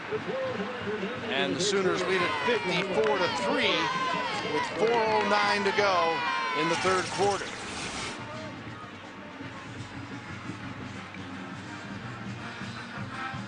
Nice break on the ball and that's a ball that is difficult to catch, and it's also difficult to keep your balance. And Lofton out of Kingfisher does a great job of both. You know, Hartley now has missed the two extra points, as you mentioned, and you know he's sitting there going, "Man, I'm a I'm a Groza guy, and then I should be a finalist and maybe win this thing." He's that good. A lot of it has to do with the execution, the snap and the hold, and I don't think that that one was perfect. Well, and the other thing is that when you grade that, particularly this year, with the kickoffs being moved back to the 30, those touchbacks and those type of things and your net distance and all of that stuff, I think is going to make a big play because uh, it's going to be a lot more than just how'd you do in your field goals and your extra points, don't you think? Well, absolutely. He had kicked six out of, I think, 21 kicks out of the end zone coming into this ball game, and he's kicked a couple out here, two or three. And he, he says that uh, he could kick more out. Sometimes they kick it high to certain players to keep giving good opportunities or a ball like that. Well, that one gets through the Utah State men, but uh, that one should have been picked up. And so there are different things you do on the kickoff. He is a huge weapon for Oklahoma. 45 yards officially on that return for the TD by Lofton. And Oklahoma will set up their defense now at the 20 as that one kind of knuckled on him a little bit. Floated and danced through to the end zone. First and 10 at the 20 for Utah State. Go, Sooner! Go, Sooner! The Aggies will bring Leon Jackson, the third back onto quarterback. Three wideouts to the left.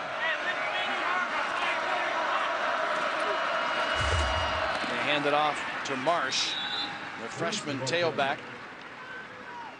It's a yard or two. John Williams, a senior out of Houston, makes the stop for Oklahoma.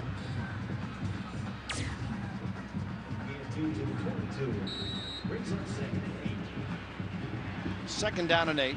You talked a little bit about the depth, and some people see somebody like Williams, he's a starter. Well, the way they rotate guys defensively, it's a little bit different deal here, right? Well, they, they're playing three or really four defensive ends. They stick with their linebackers for the most part. But the, one of the luxuries that uh, Oklahoma has this year is that, uh, and in most years, because everything starts with run defense. You got to have stuff at the back end. You really have to have stuff at linebacker, a little bit everywhere, but you really got to have those down linemen. And the Sooners have guys they rotate in with Corey Bennett, uh, DeMarcus Granger and uh, Stephen Coleman and Gerald McCoy and even Taylor getting in there. And they're all fresh. There is McCoy. We were talking about earlier with that broken hand. You see it bandaged up. It's third down and six now for the Aggies at the 24. Jackson in trouble, hit as he fires, and it goes out of bounds on the OU sideline. Good pressure as uh, Darian Williams was coming on.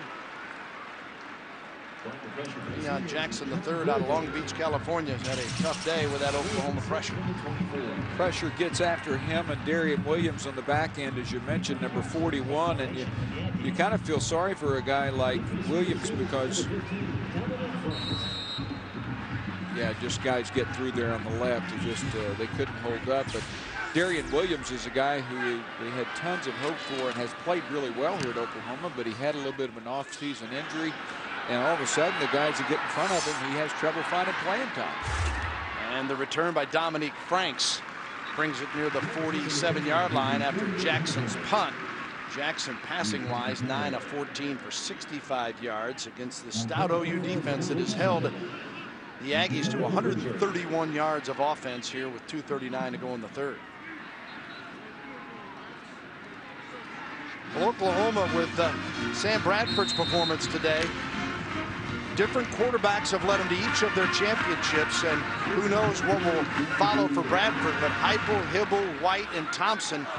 And one of the things Bob Stoops is proud of, that whoever's back there, they adjust. And here's Brown getting the handoff from Nichol. And he rolls for a first down carry. Takes it down near the 37-yard line. And Dean, for our Utah viewers may not be aware, it was a three-headed deal, right, to start with this year quarterback and Nichol, Joey Halzle, the junior college transfer, and Sam Bradford. And the decision was made about a week and a half before the opener. And Bob Stoops said everybody wanted to know who's going to be, who's going to beat. He goes, the competition was so good. He goes, I wasn't trying to tease people. It was that difficult to make a decision. It Tells you how good these guys are. Yeah, it, it really does because uh, I know I know Nichol has a ton of upside. And he's good at this type of thing. He's good at getting out on the run. That is a bad pass there, but uh, he is really a threat. And Joey Halzle, you know, you talk about Sam Bradford leading the nation with pass efficiency. The only guy he's behind is Joey Halzle. you know, he has a better number, but doesn't have enough numbers. No, Halzle's just five of six for 100 yards in the TD. He had one last week against uh, Miami when it was two of two. And there he is, number 15 He's from Huntington Beach, California. But it's Nichol's opportunity now with 2.08 to go in the third. Second and 10, the ball on the 37. Mossis Madu, the tailback, doesn't get an opportunity as they jump the gun. It looked like uh, Cumbie coming across the line. They're number five. And sort out the laundry once again.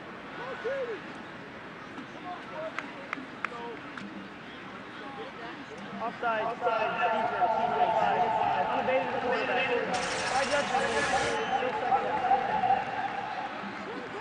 Look at this. Oops.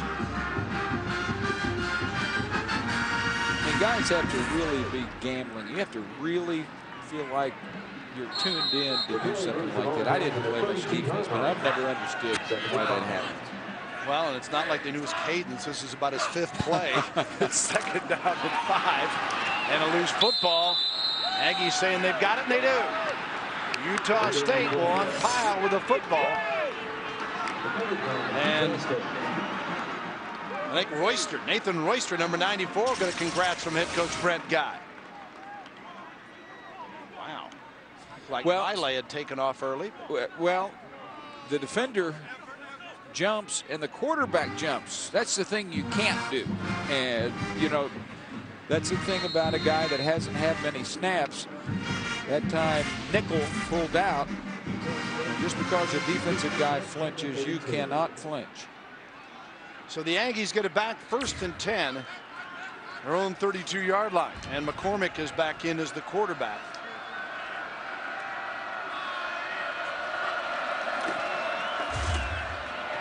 And nothing happening. Reynolds just hog ties and brings down the running back as Derrvin Speight, 5'9", 201 redshirt freshman. No opportunity thanks to the play of Reynolds. He's had a, quite a game here today. He has. Uh, don't think he knocked down a shoulder. It looks like uh, he's a little bit uh, banged up, and he has been banged up during his career. He's really, he's really bothered. It looks like. Over Temple staying on for the moment. Second and 12 for Utah State.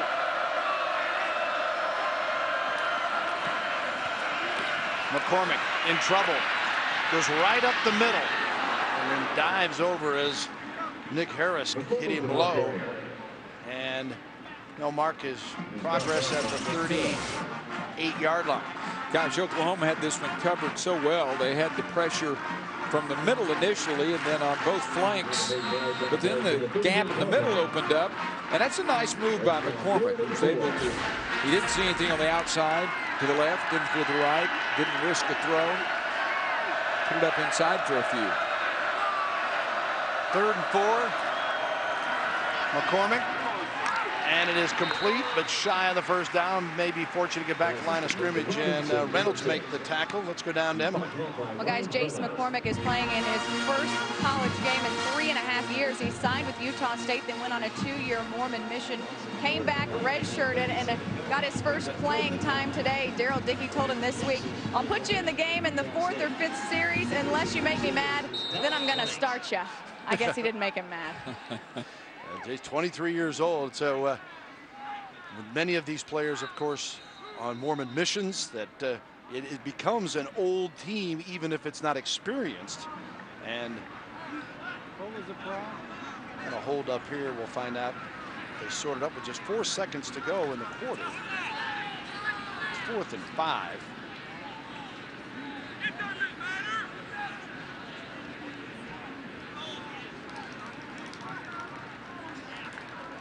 Blakeman. I think he just wanted a little more TV time, make sure everybody saw him there. We identified him, the referee.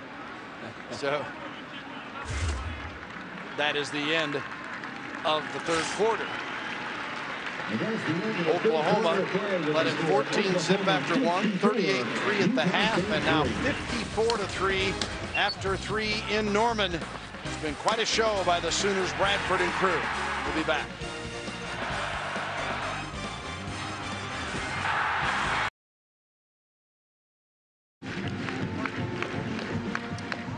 Oklahoma entering the fourth quarter in control. 54 to 3 over Utah State.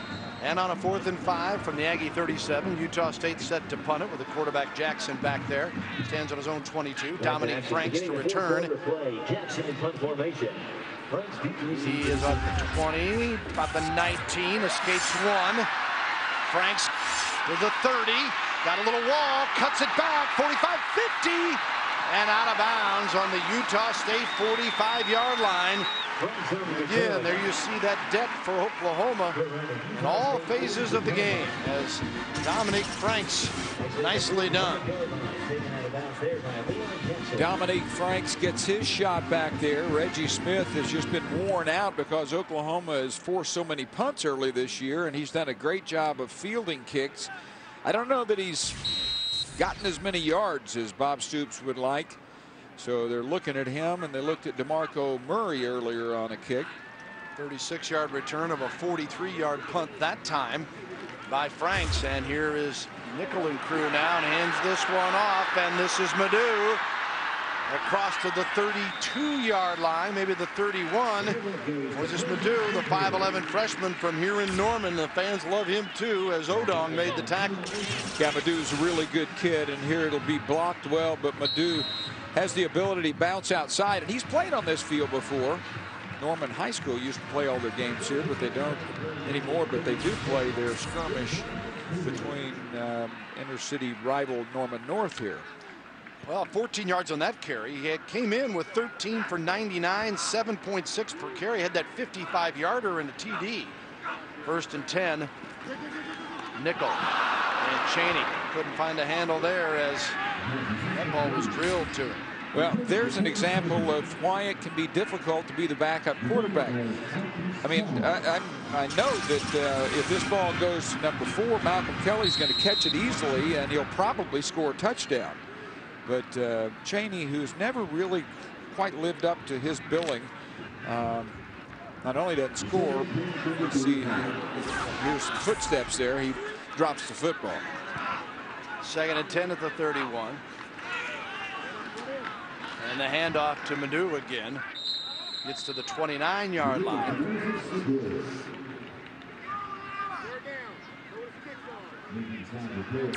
Cumbie makes the stop. What's your thought as the Big 12 gets closer to conference play on what we've seen so far a couple weeks of non-conference play? And folks didn't hear Iowa State knocking off Iowa today. Oklahoma State got pounded last night by Troy. Well, the let's watch this one. Third and eight. Nichol high snap handles it. And then looking for Tennell and couldn't quite connect there. Part of the problem there was it was it was a high snap. It threw him off rhythm, and he, threw a poor ball. But again, Bill, that's an example of not having a, you know, a guy who's going to give you a good snap. I mean, there, there's so many things that can go wrong, and the kid has had a, a few things mess up on him. And Oklahoma at Tulsa this next coming week, and then uh, at Colorado before the big one down in Dallas. Yeah, the Sooners won't be back home for that Missouri game October 13th, about a month from now. Fourth down and eight. This one a little bit behind Chaney, got a hand on it and falls in complete near the 20-yard line. Even though there are some excuses for the quarterback here, it might show that uh, Bradford's a pretty good player, huh? Yeah, I think so. His three TD performance proved that again today. We'll be back in a moment. Oklahoma fans and cheerleaders, a lot to cheer about today with the Sooners 54-3 leaders over Utah State. Number three national ranking. Looking more and more legit, certainly by today's performance. Put it to a lesser opponent. And Utah State running it here on a first and 10 from the 29-yard line. It's McCormick keeping the football. Third defensive end, Jeremy Beal in. And I know Bob Stoops was pleased in one of the earlier games this season when some of the backups got in and played well. But this is the time of game where things can get sloppy. And Oklahoma will want the backups to stay fundamentally solid and play good technique. Beal, redshirt freshman out of Carrollton, Texas. Second and six from the 33. Not much doing that time for Derrvin Speight as he stopped by Lewis Baker.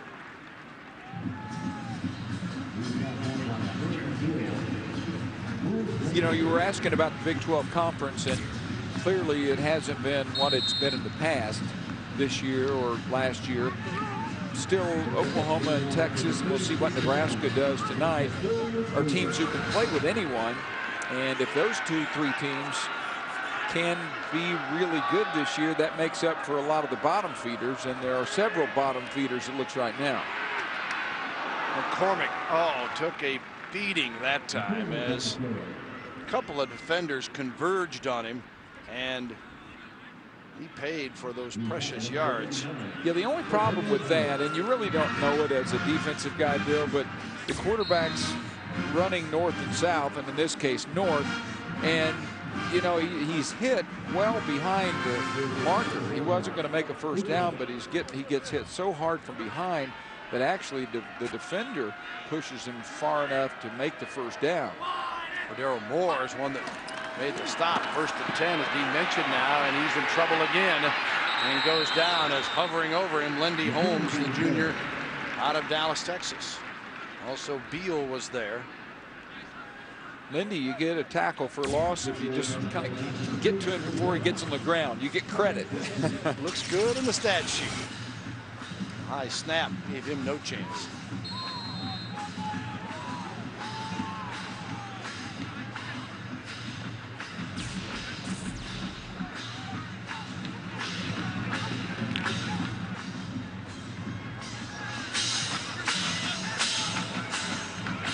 Second and 16 from the 34-yard line.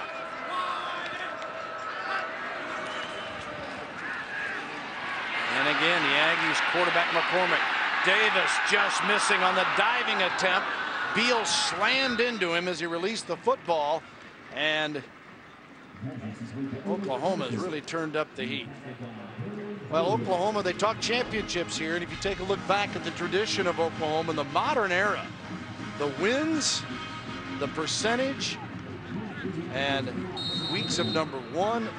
That's that, pretty stout. Right that's there. pretty amazing. And well, shows that bottom number two of seven national titles and a couple of near misses in the last few years. And certainly uh, they're being mentioned and whether that's fair or not, that's the talk with this year with uh, LSU and Southern Cal. Most people put OU near that caliber. Third and 13. Wow, another big hit as McCormick paying dearly for keeping the football. And Robinson made the tackle that time. Lamont Robinson. You know, the one guy who's not getting in is Mike Reed at linebacker yet. And here you see the speed of the backups. And that's one thing the coaches, I think, had mentioned to you, wasn't when you look at Oklahoma, you Yeah. just see speed. Utah State, we talked to the two coordinators and, of course, Brent Guy, and each coach individually you said what sticks out.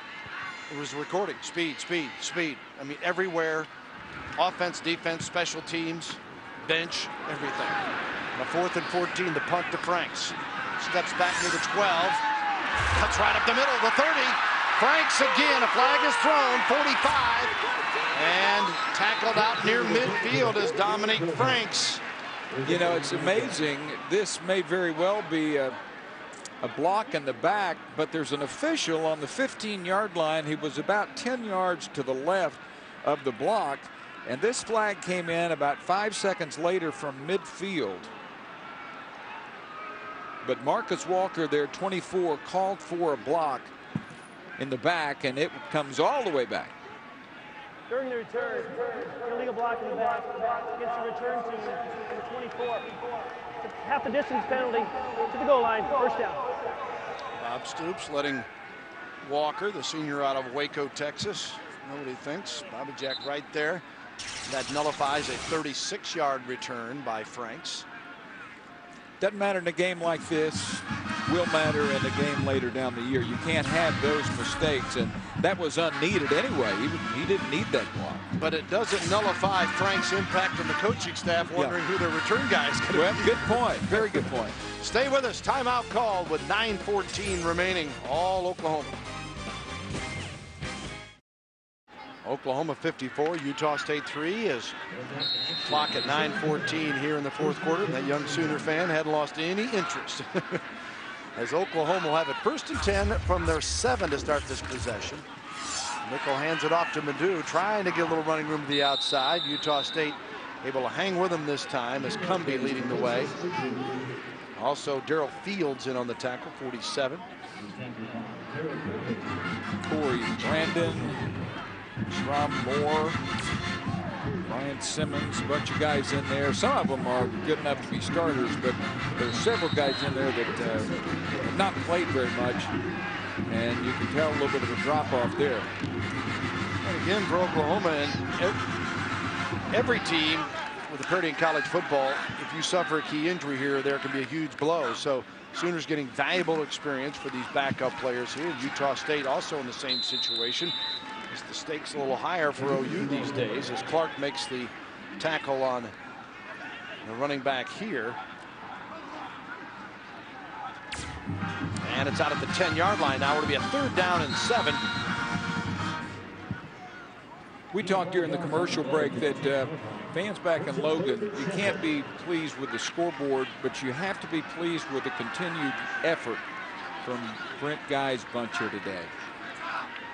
And that may not mean much to some folks, but it should because when you are getting whipped like that on the scoreboard, giving that kind of effort is not easy. Nichol sandwiched and hit hard just shy of the 15 and shy of the first down. He'll look at that tape and realize had he made his mind up and continued to go north instead of kind of hesitating, he would have picked up the first down. Much easier said than down there as a true freshman. Kid did come in in the spring. He competed real well for the starting job, but Bradford had already been here and gotten in a, valuable experience last year, practicing daily against an outstanding Oklahoma defense and had quite an edge. Mike Knall will have the first punt of the day for Oklahoma standing on his goal line. And he booms it. Robinson at the 39. And spins out of two more tacklers. 45, 50. Robinson, most of his yardage side to side. Did a pretty nice job of escaping things, though. And a timeout on the field with Oklahoma. 54, Utah State 3. Welcome back, Oklahoma 54, Utah State 3. Those diehards stay into the finish here. Many of the 80,000 plus have headed for the exits, but Oklahoma on defense now is Utah State. Sam Bradford, who had another impressive day with three TD passes and taking a seat or stand, if it will. And right up the middle, Turbin picks up a first down to the 37 yard line. Robert, freshman out of Fremont, California. Lendy Holmes makes the tackle at the 11 yard pickup. This is where Oklahoma's defensive staff and players really want that backup bunch to preserve a shutout in terms of touchdowns. But, you know, you can only do what you can do. You can't run back in and start. First and 10 at the 37. McCormick hands to Marsh, lost the football. Oklahoma's picked it up and still on his feet for just a moment. My goodness, why would he pick that ball up? Pretty good snag, though. Yeah, great hands that time by uh, is it Cordero Moore? Yeah. For 89. That was a fumble without being hit. That was one just uh, going in the breadbasket. Tennis will be an unforced error. Moore, 6'2", 297, a sophomore from Mesquite Horn High School down there in the Dallas-Fort Worth area, and it's Oklahoma. And the Sooners give Joey Halzle a shot now, it appears, as the third of the OU quarterbacks comes on. And Aggies helping off the injured back, Curtis Marsh, their talented freshman, and, and not a good sign. You know, I don't know if we mentioned earlier, the Aggies were without Antonio Taylor, their leading tackler from last year and this year has been suspended for the rest of the season. And they also lost Ben Childs, defensive tackle, with a broken leg. And depth, as you mentioned, Dean, is not a strong suit in Utah State right now. So uh, injuries just such a huge impact at every level. And here's Madu. He's tackled near the 39 yard line. Madu doesn't have the luxury of a lot of those frontline backs of having a crack and not being hit for a few more yards downfield, but he's really a good one. Halzle coming in, and he's a guy that may lag behind the other two in the tangible department, but his intangibles are really good. Smart, and leads, and does a bunch of, bunch of really good things. It's just a matter of who's going to be and can that guy be good enough if Bradford goes down. Second down and seven now from the 39. Halzle hands off to Madu, spins, and there's a good point of what you were just talking about. He actually makes a pretty decent run. oh, he run makes there. a good run. Yeah. Nothing to show for it as Derek Cumbie gets the tackle. It reminded me of some Barry Sanders runs where, remember the Lions? Oh, oh Lord.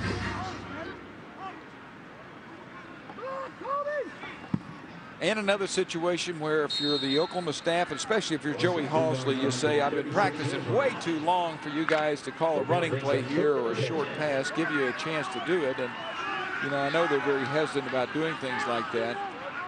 Othan and Chaney go wide left. Let's see what they do come up with on a third and 10. As Halzle, they come after him. He dumps it off, and here's Madu. Now Madu with a little bit of room to operate, and you see he almost has the first down. This is complete to Mossis Madu. This gives you an idea of his talent. He was tackled by Nathan Royster. Oklahoma, Bob Stoops rarely would not go for this. Nice swing pass. Catches Madu in stride. Makes the first man miss. Makes the second man miss.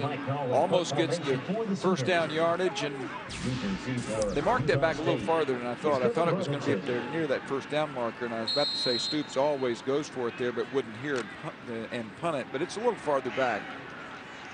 And the punt is certainly the right thing to do. That play, though, gives Oklahoma 602 total yards of offense for the day. And they'll punt it away. No snap, and Knall handles it all right. Been a bad game for Oklahoma special teams today. They have been a tremendous, tremendous unit, but not a good day today. Well, let's take a look back. We've had some flashback fun here today, and we go back to a guy who got it all going here at Oklahoma with Bud Wilkinson era back in the 50s. And David Baker, a little TD run, and next up, some Tommy McDonald to Clendon Thomas, and a little razzle dazzle. Game ain't changed that much, has it? Well, I tell you, Bud did some incredible things. Came in at 40 years of age. He retired, or, or he was the athletic director at 40. I think he left in his uh, when he was very, very young. But Bill, they won 77 straight conference games. Incredible. 77. That that that figure, you talk about the what the 47 game winning streak, but when you talk about 77 conference games in your league, yeah, I don't care what league you're in, when you're in that where people know you best, that is an amazing accomplishment. Of course, the Sooners, with all of their hardware, yeah, they need another shelf or two, don't they, over in the Switzer Center with four Heisman's leading the way in those most prestigious of trophies. It's second and 14 for McCormick here for Utah State. Completes the pass to number 21, Speight, and Holmes making the tackle. We threw out one happy birthday to a player earlier. Got to throw one out to Merlin Olsen. Yeah, maybe the most famous of Utah State's alums, right? Ram, yeah, Rams number one pick, and uh, his birthday today. Hall of Famer, and he was uh, an Outland Trophy winner. The Aggies have their own tradition. Guy named Cornell Green wasn't too bad. He came out of Utah State. We were talking about off the air earlier. Played basketball and football. That guy just trying to rebuild and get it going there. Here is McCormick. On the run and fires and picked off. Intended that time for Bowman. But Brian Jackson gets the INT. Brian Jackson came in a really highly recruited player. They thought that he would emerge and be one of the key players in the secondary for Oklahoma. He hasn't quite gotten there because of such stiff competition, but he still can play. That's a nice break on the ball. So Oklahoma with 235 gets it back. Jackson 6'1", uh, 190, a sophomore from DeSoto, Texas. And Halzle will be the quarterback again. First and 10 at the 35 of the Aggies. Madu protecting the football down to the 31 yard line. Picks up four.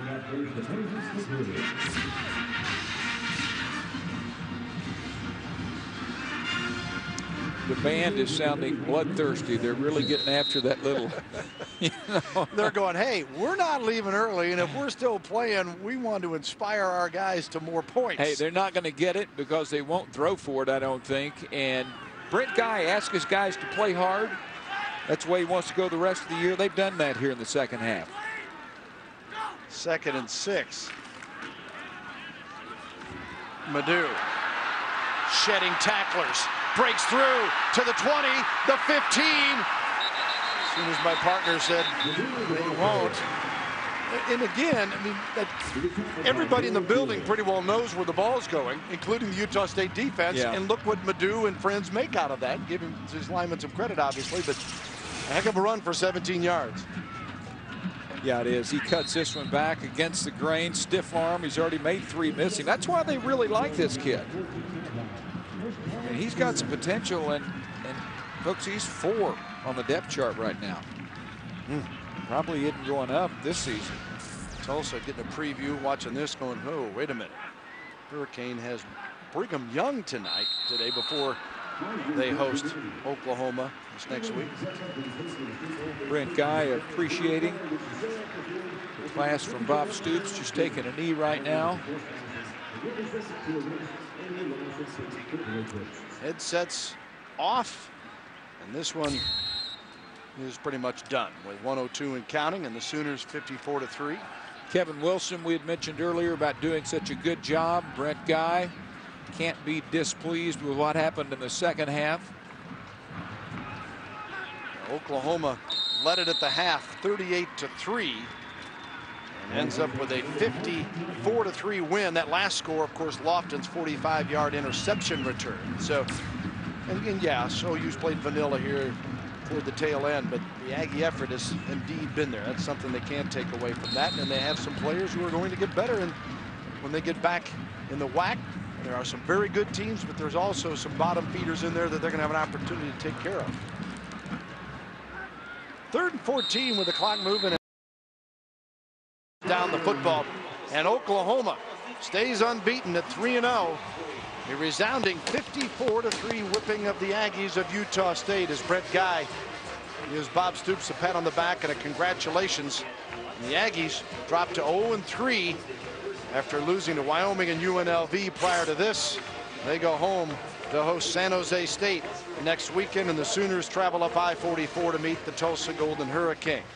Sam Bradford was outstanding again today in his limited time. Three touchdown passes. OU ends up with total offense of 617. Kelly a couple of more TD receptions. He's got seven now through three games. And the Sooners also get their third longest run from scrimmage today on a 92-yarder from Murray. And let's go down to Emily Jones with Bob Stoops. Coach, let's start with defense. I asked you headed into halftime how your defense could improve. You said don't allow a field goal. They didn't pitch a shutout in the second half. Pleased Yeah, with their they, performance. They played well. You know, they, they really, uh, Coach Dickey and his offense, they do a lot of motioning and shifting, and you really got to be disciplined to, to stop all of their run games. So I was real pleased that we were able to do that. Offensively, Sam Bradford, another great outing. He does throw his first interception, which I guess it had to happen at some point, but a great day for him and his supporting cast as well. It, it was. Uh, he's, uh, you know, uh, Sam's done a great job managing his part of the offense and doing what he's asked to do, and he's getting supported by a lot of good players that are that are making plays around him. These victories in these first three games have been so lopsided. Do you feel like, though, you're still able to learn enough about your team as you head into Big 12 play? All you try and do is play the best you can every game. So that, that guys, uh, you know, they've had a great focus, a great attitude in how they're playing. So how can you complain about that? So, uh, you know, I'm, I'm pleased. We just got to keep building on it. All right, Coach. Congratulations thank on the win. Appreciate your time. Bill, send it back up to you. All right, thanks, Emily, and thanks to Coach Stoops. Uh, Bradford, 19 of 26, 255 yards, Dean, three touchdowns. Did uh, get picked off for the first time in his young career here, but he certainly set the tone once again today, and, and the running game was just as strong.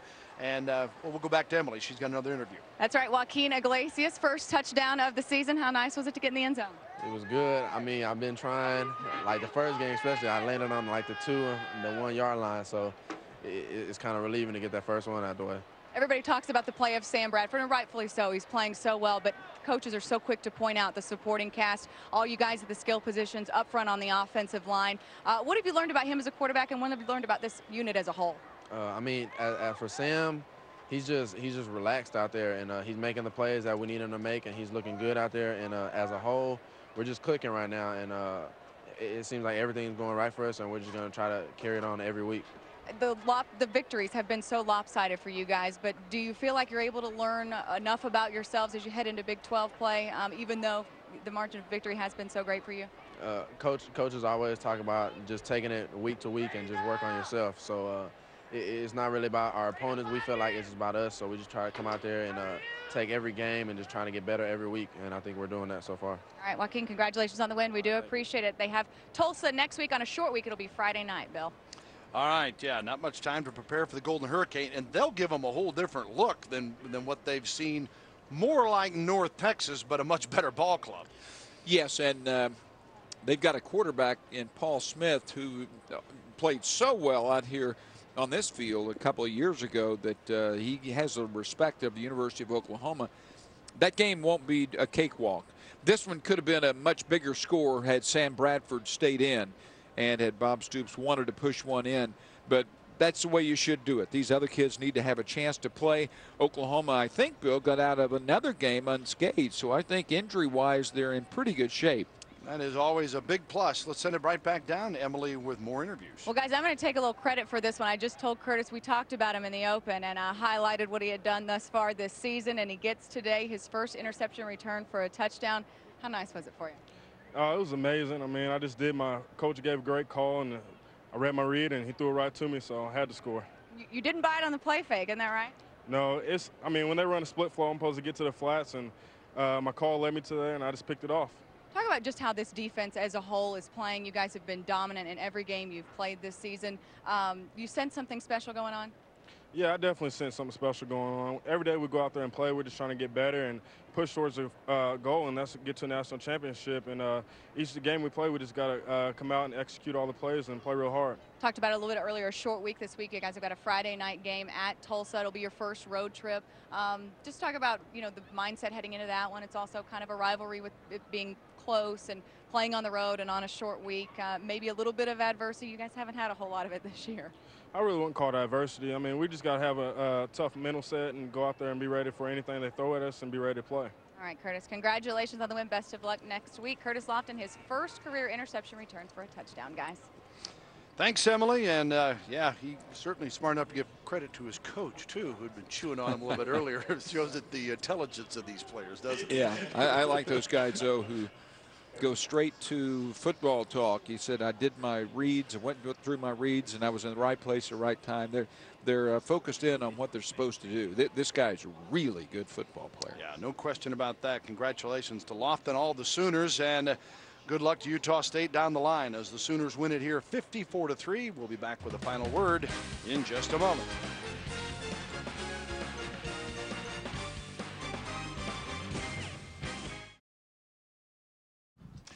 54-3 is the final. The third-ranked Oklahoma Sooners take care of the Aggies of Utah State. We welcome you back here to the University of Oklahoma. Bill Land and Dean Blevins with you up top. And uh, Bob Stoops pretty well said it, Dean. They took care of business here today. And uh, the, I don't want to use the term professionalism of this team, but that's about what they are starting to resemble. Well, it was a business uh, venture, if you will. I was going to say business trip, but it wasn't much of a trip, but it, it was all business. Uh, you come into a game uh, favored by 46 points. You know what's supposed to happen. That's what it does happen. Oklahoma was able to do, as we mentioned real early in the game, get Bradford out and get the other guys in there. And by doing that, you get to rest your guys and you get to keep them healthy. So I think today was a good week for Oklahoma, but it was one that you could tell that they were emotionally not really as into as the other two. Well, just how good can this team be? Because I know we need to weather the competition, but 79 points against North Texas, they honestly could have had 100 if they wanted to. Last week, they throttle, I still think, a, a good athletic team in Miami. And today, they get over 600 yards in offense when they've really closed it down by middle of the third quarter. You know, I I always say it's still too early right. to know. I, I, think you have to step up and play some guys, and I think that uh, Colorado may give you resistance uh, up on the road. Oklahoma has to now get out and go on the road, as you mentioned. So I think we're going to know more then, and Tulsa will pose some problems. But then it always seems to come down to what happens in Dallas, and we'll see if Texas can even get there undefeated. But regardless whether they're undefeated or not, that game, and I've mentioned it now a half dozen times, I've been there. I know what it's about, and Oklahoma will have to fight its uh, guts out to win it. But when you take a look at things overall, the Sooners certainly are on target, on pace to meet all those expectations, and, and those are lofty, but people certainly uh, have seen what this team's capable of. Yeah, they've got the talent. Uh, the only question coming in was Bradford. You saw today what all he can do. All right, and that's about all we can do for this one, folks. Hope you enjoyed it here today as the Sooners take care of Utah State 54 to 3, the final. For Dean Blevins, Emily Jones, and our entire crew, of this Bill Land saying so long from University of Oklahoma. Thanks for watching. Again, the final score Sooners 54, Utah State 3.